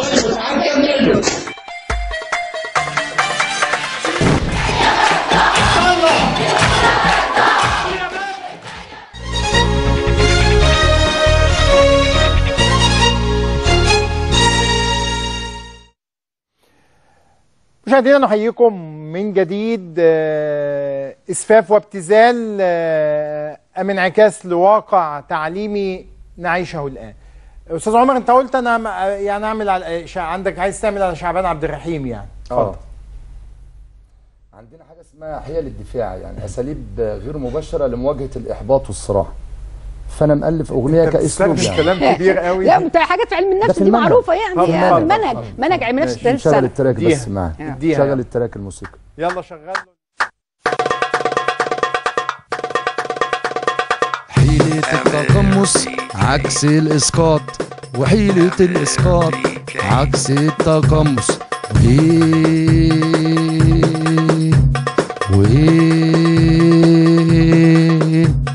يسعى فيها المرء لخفض التوتر الناجم عن إحباط والناجم عن صراع. وإيه توحد الطفل الطفل مع والده. توحد الطفل الطفل مع جده. إيه. هنا الضحكة دي اللي أنا عايزها من حضرتك اللي بتبقى على وش الطالب. ده اسمه يعني انت هرمون أول ما بتلاقيني بضحك تعتقد إن أنا فهمت أيوة، يعني. يعني لا، أنا بقول عاب طالب. أنا بقول عاب طالب طب ما أنا ابعت له نكتتين وهو قاعد في البيت هرمون وخلاص اضحك يا الدوبامين ابني. هرمون الدوبامين نسأل طب نفسي يا جماعة. أنا أسأل طب هرمون الدوبامين الط- الطالب يفرزه. يخ... أستاذ عمر ما تقعدش تقول لي بس. تابع. تابع معايا يا أستاذ وائل. ومفكرين. لا أنا مش مع... أنا مش محتاج يا جماعة بس خلينا نسمي الأشياء بمسميات. ما تحاولش تغلف ما تقوم به بإطار فلسفي فلسفي بقى. وفكري. لا يمكن. ما, ما ينفعش. لأن حضرتك عايز تمشيني على إطار حضرتك حاطه مش عايز تخرجني منه. هو بس أنا ممكن أقول كلمتين بس. اتفضلي يا دكتور. لازم مهم يا جماعة. في بعد القيمي للعمليه التعليمية. أنتوا ليه ليه ناسين ان في بعد قيمي أنا التع... إيه، في قيم بت... إيه علاقة التون النغمة بالبعد القيمي حضرتك عايز أعرف علاقه إيه لا، النغمة معلش بقى. بالبعد القيمي. القيمي القي- القيمي القيم ماشي إيه علاقه الموسيقى يعني بالقيم ده؟ الموسيقى دي جزء من القيم يا فندم يا فندم حضرتك. يا فندم حضرتك أنا أنت بس معلم أنت نموذج أنت. قدوة للطالب أما أنا أتحايل على الطلاب عشان أوصلهم المعلومة يا فندم. بكل ما لو سمحت ما خلينا خلاص. بكل ما أملك من مهارات أجيب أجيب دي جي أجيب واحدة بس احمر أجيب كل ده تحايل عشان أخلي الطالب يتعلم. هطلع طلاب شخصيتهم إيه؟ طب وليه- بيت... وليه- لو سمحت خليني أكمل. بي... بي... بيتحايلوا على حياتهم كلهم. هيبقى حياتهم هو هيبقى موظف بيلعب بالبيضة والحجر. هو هيبقى م- يبقى آه آه واحد مش هل- بيشتغل إيه لأنه هو اتعلم غلط. طيب. ال- النموذج هي- هي بتاعه بس عشان تقول نموذج وجهة نظرها. هل هل معنى إن إحنا الناحية القيمية الضايعة. طيب هل. معنى اسمعوا بقى. والحضارات هل- بتوعها اسمع معنى واحد اسمع واحد، اسمع واحد. هل معنى يا سلوكية فندم. ولا نموذج لمعلم واحدة للشخص. أكمل على كلام واحد حضرتك. بيرقص. أكمل على كلام واحد حضرتك. بيرقص وهو بيدرس. هل واحد معنى بيرقص وهو بيدرس. ثانية ما, هو بيقول لك وهو هل معنى إن أنا بستخدم المزيكا كوسيلة ان أنا ما؟ بنقلش قيمة لا، أنا في في- الحصص العادية بننقل فندم في قيم حاجة وبننقل اسمها مبادئ في, في حاجة اسمها قيم ده- دي مجرد أخلاقية. دي لا، مجرد وسيلة. دي, دي وسيلة دي آه، دي شايفاها وليس. غاية. لا، ده الغاية هي القيمة. لا، لا، مش وسيلة، لا. بس هي اما القيمة. تاخدها مع الأطفال الصغيرين بتاخدها في بعض المقاطع مش هي تبقى هي ده يا جماعة بس لو سمحت. لو سمحت يا يا يا يعني دي تجاره أنا طبعا ال- اللي أنتوا شفتوه ده ال- ال- اللي يصلح إن إحنا نذيعه يعني هل ينفع ان إنك ت... أنت بتقول أنا بستخدم الموسيقى أنا ما عنديش مشكلة تمام في إنك تستخدم كل أنواع الفنون بما فيها المسرح تمام. والموسيقى في- في- ونشوف. إزاي يمكن إن إنما من هل اللي أنا شايفه ده من ضمن أسس- المولد ده والصخب ولا على نوع من الأغاني بنخرج نوع من الأغاني أنت عارف إنه ينتشر في وسط. المتخدرين واللي شايلين مطوة واللي بيرقصوا وهم عريانين. أنا بشتغل على على على نغمة معينة أنا مش بشتغل على مهرجانات. بشتغل على نغمة معينة بحفز بيها الطلبة بقى- بيبقى عبارة عن مثير مثير محفز أو مثير مساعد اللي هو اللي عندك طب أنا أنا يعني هنا تتخيل هنا أنا بخرج الطلبة من الكبت اللي هم فيه دي كانت فتره إيه؟ دي كانت إيه فترة ده؟ مراجعات دي- دي دي. فترة مراجعات هم مضغوطين نفسيا. ودي حصة واحدة ده. دي حصة واحدة انت في السنة كلها يا فندم. موقف واحد لمعلم ما بتدمر جيل في موقف واحد لمعلم باخده طيب آه، موقف طيب. واحد بدمر وننسى. موقف ده أنت ال 100 بتقول موقف ده ده أستاذة رحمة. اتفضلي يا فندم استاذه رحمه اتفضلي. أنا مع حضرتك. الطريقة دي من وجهة نظري أنا أنا شايف أنا بستفيد منها والطلبة كتير بتستفيد منها. بس هي الحاجة يعني لما بتبالغ عن حدها الحاجة لما بتزيد عن حدها يعني بتبقى أفورة قوي. هو في مدرسين بيستخدموا الطريقة دي؟ آه. وحشة جدا. يعني بس في طلبة بتقفل بسبب الطريقة دي. واصلا ولي الأمر يعني إحنا بنتكلم من وجهه ولي الأمر. خلينا اسمع عشان هي على التليفون. هي على التليفون. يا جماعة هي على التليفون لو سمحتوا عندها طلاب في إعلام. لو سمحتوا مش. هناخد حقوق الناس كمان اللي اللي عايزة تتكلم يعني. اتفضلي. من وجهة ولي الأمر أصلا الم... هو ولي الأمر مش بيجي يقول لك أنت فهمت إيه من الحصة أو أنت بتاخد بأني طريقة أو أني أمال إيه اللي يهم ولي الأمر؟ في ولي أمر ما بيهموش كده. هو همه اللي أنا بدفع فلوس مثلا عايزك تقفل. أنا هتكلم عن الثانوية العامة. عايزك تقفل. تجيب 60 من 60 انت اتعلمتي بالطريقة دي يا رحمة؟ لا طبعا بس أنا أنا يعني في طريقة في حاجة في أجزاء في المنهج لازم أحفظها.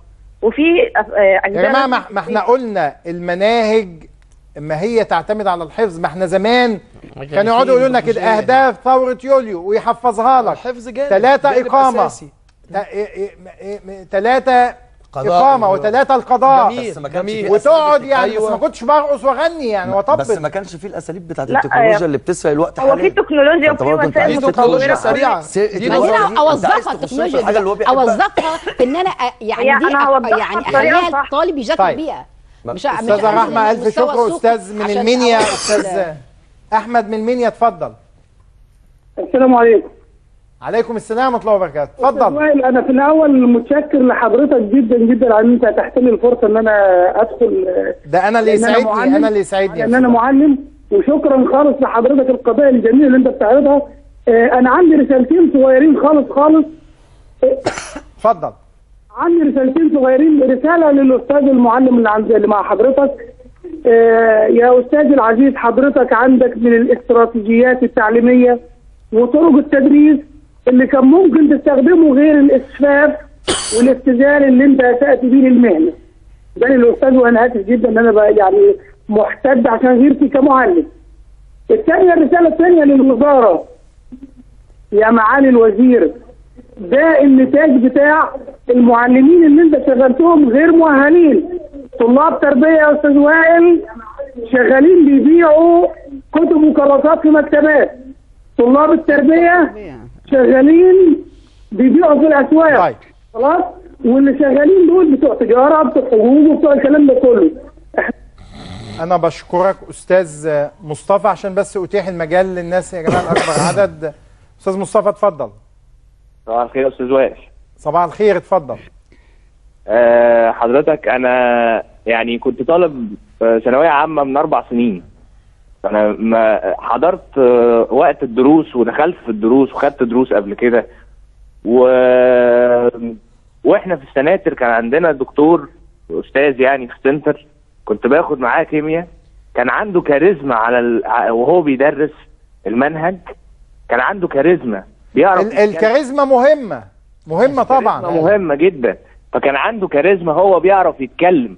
لكن مش بيغني ويرقص يعني. لا طبعا الأساتذة اللي موجودين مع حضرتك حالا هو بيحاول يدور على حاجة يعملها لأن هو مع قدرة التدريس.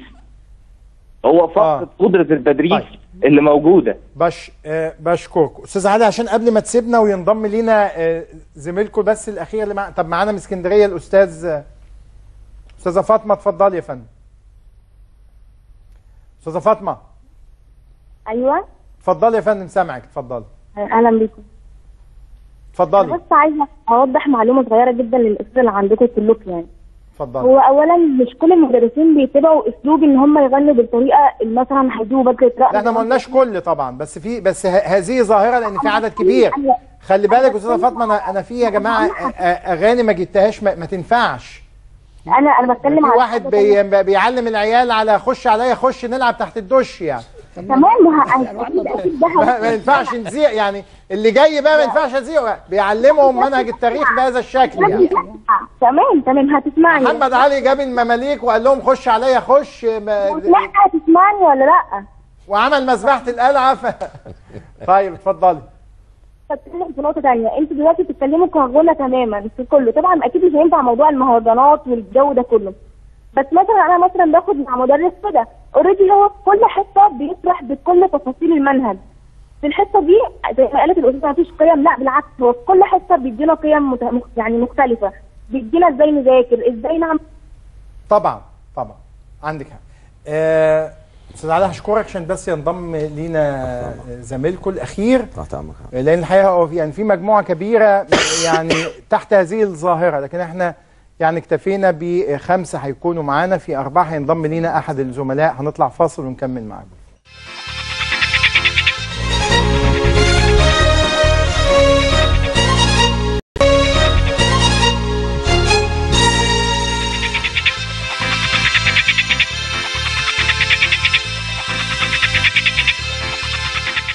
مشاهدينا نحييكم من جديد في الجزء الأخير من النقاش حول هذه الظاهرة المنتشرة بشكل كبير في الأوساط التعليمية. حسام ثابت مدرس جغرافيا انضم لينا. حسام أهلا بيك. أهلا وسهلا. حسام بسرعة كده يعني هسمعك قبل بت- أدائك إزاي؟ الأداء بتاعنا بيندمج على حاجة واحدة بس اللي إحنا تبسيط المعلومة بطريقة لغوية وفي نفس الوقت بعمل تأثير أو مثير سمعي ومثير لفظي. طيب. ادي ادينا حتة كده. ماشي. في درس في الصف الثالث الثانوي بيقول المقاومات البشرية. ده الوحدة الأولى الدرس الثالث. ماشي كده؟ عندي حاجة اسمها خصائص السكان. الدرس دوت كبير شوية بالنسبة للطالب. فبنقول خصائص السكان. تركيب تركيب هجرة دين واللغة والتعليم.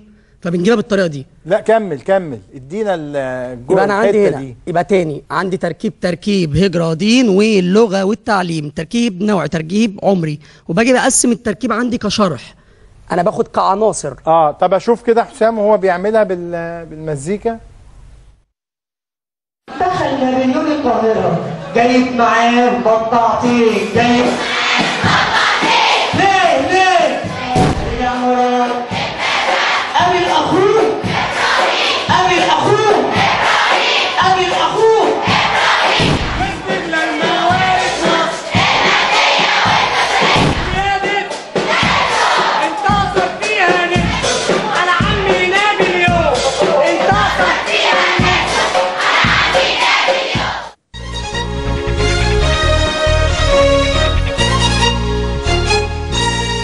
آه ده ده شايفه بيوصل المعلومات. ده سرد ده سرد أحداث.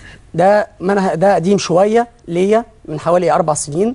ده بوصل للطالب هنا سرد أحداث. أنت مازج أغاني المهرجانات بإيه؟ ما فيش حاجة اسمها مهرجانات بالنسبة لي. دي مش آه. مهرجانات.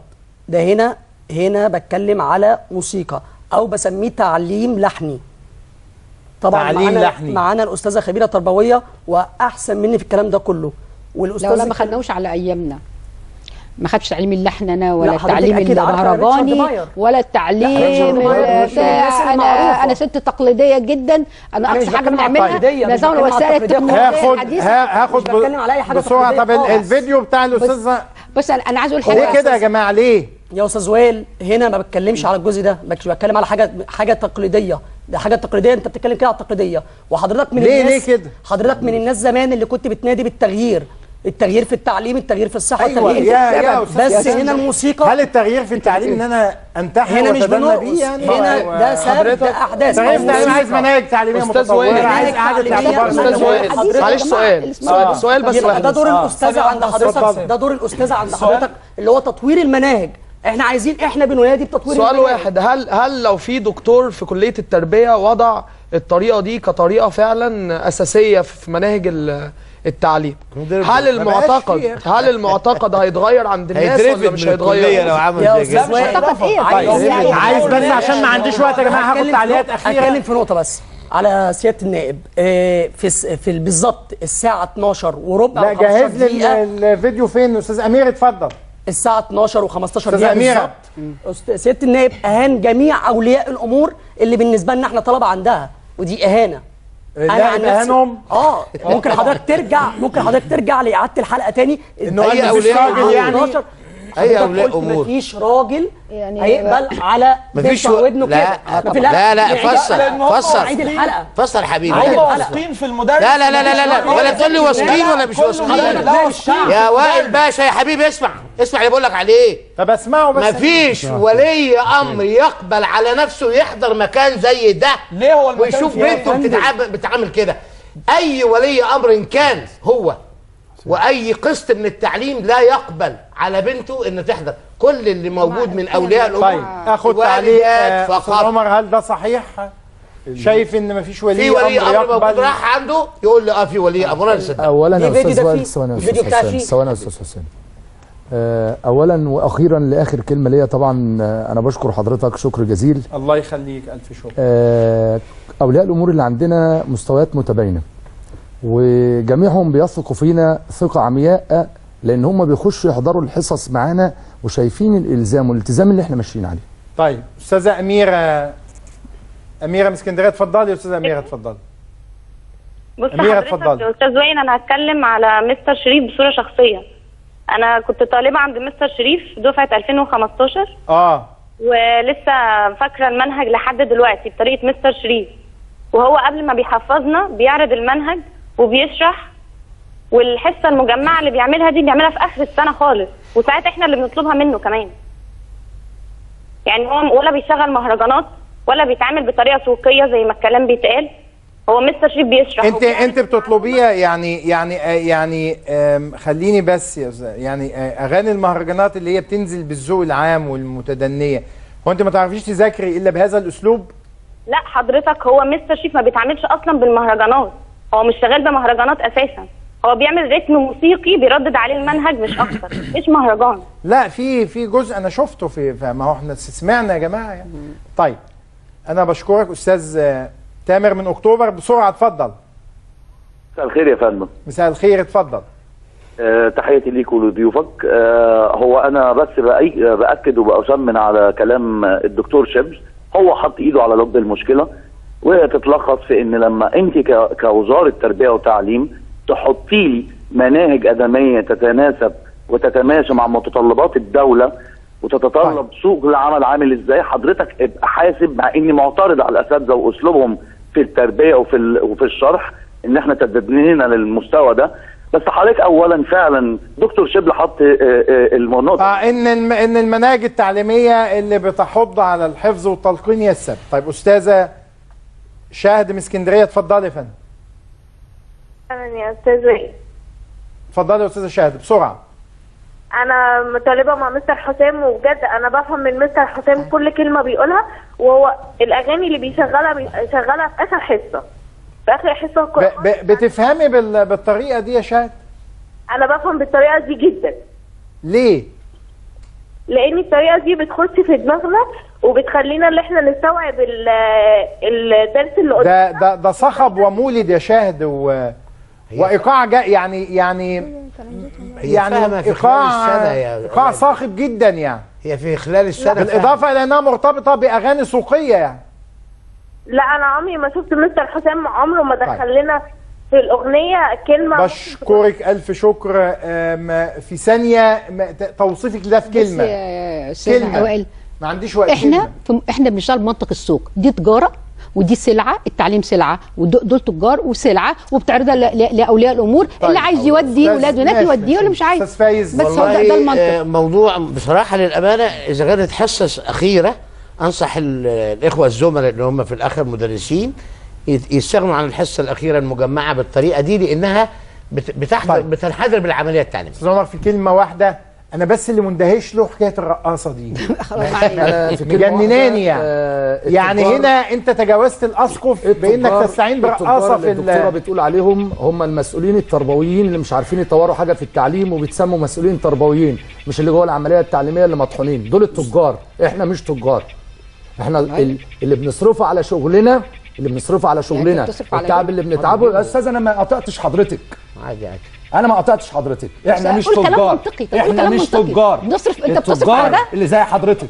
اللي أنا مش قادر. يطور حاجة في التعليم. انزلي سوق العمل. انزلي مدارس المناطق اللي الشعبية. أنا مش يا يا اللي مش. هوجه اهانات يا مش؟ هوجه إهانات للناس يا أنا ما وجهتش إهانة يا أستاذ وائل. أنت مدرس يعني لا، ما تربوي. وجهتش إهانة. في ثانية يا حسام أنت يعني مصمم على هذا الم... على هذا الأسلوب. مش أنا اللي مصمم. مش شايفه انحطاط بالتعليم الطلبة وتردي بتاعتنا هي اللي مصممة التعليم بتاعنا هو اللي مصمم. الطلبة طيب. هي اللي مصممة على الموضوع دوت اللي إحنا بنوصل المعلومة أستاذ بطريقة نفس الوضع أنت؟ إحنا بنبسط المعلومة على ان المناهج صعبه على الطلاب أستاذ شريف ده شكل من التعلم المطور اسمه التعلم السريع.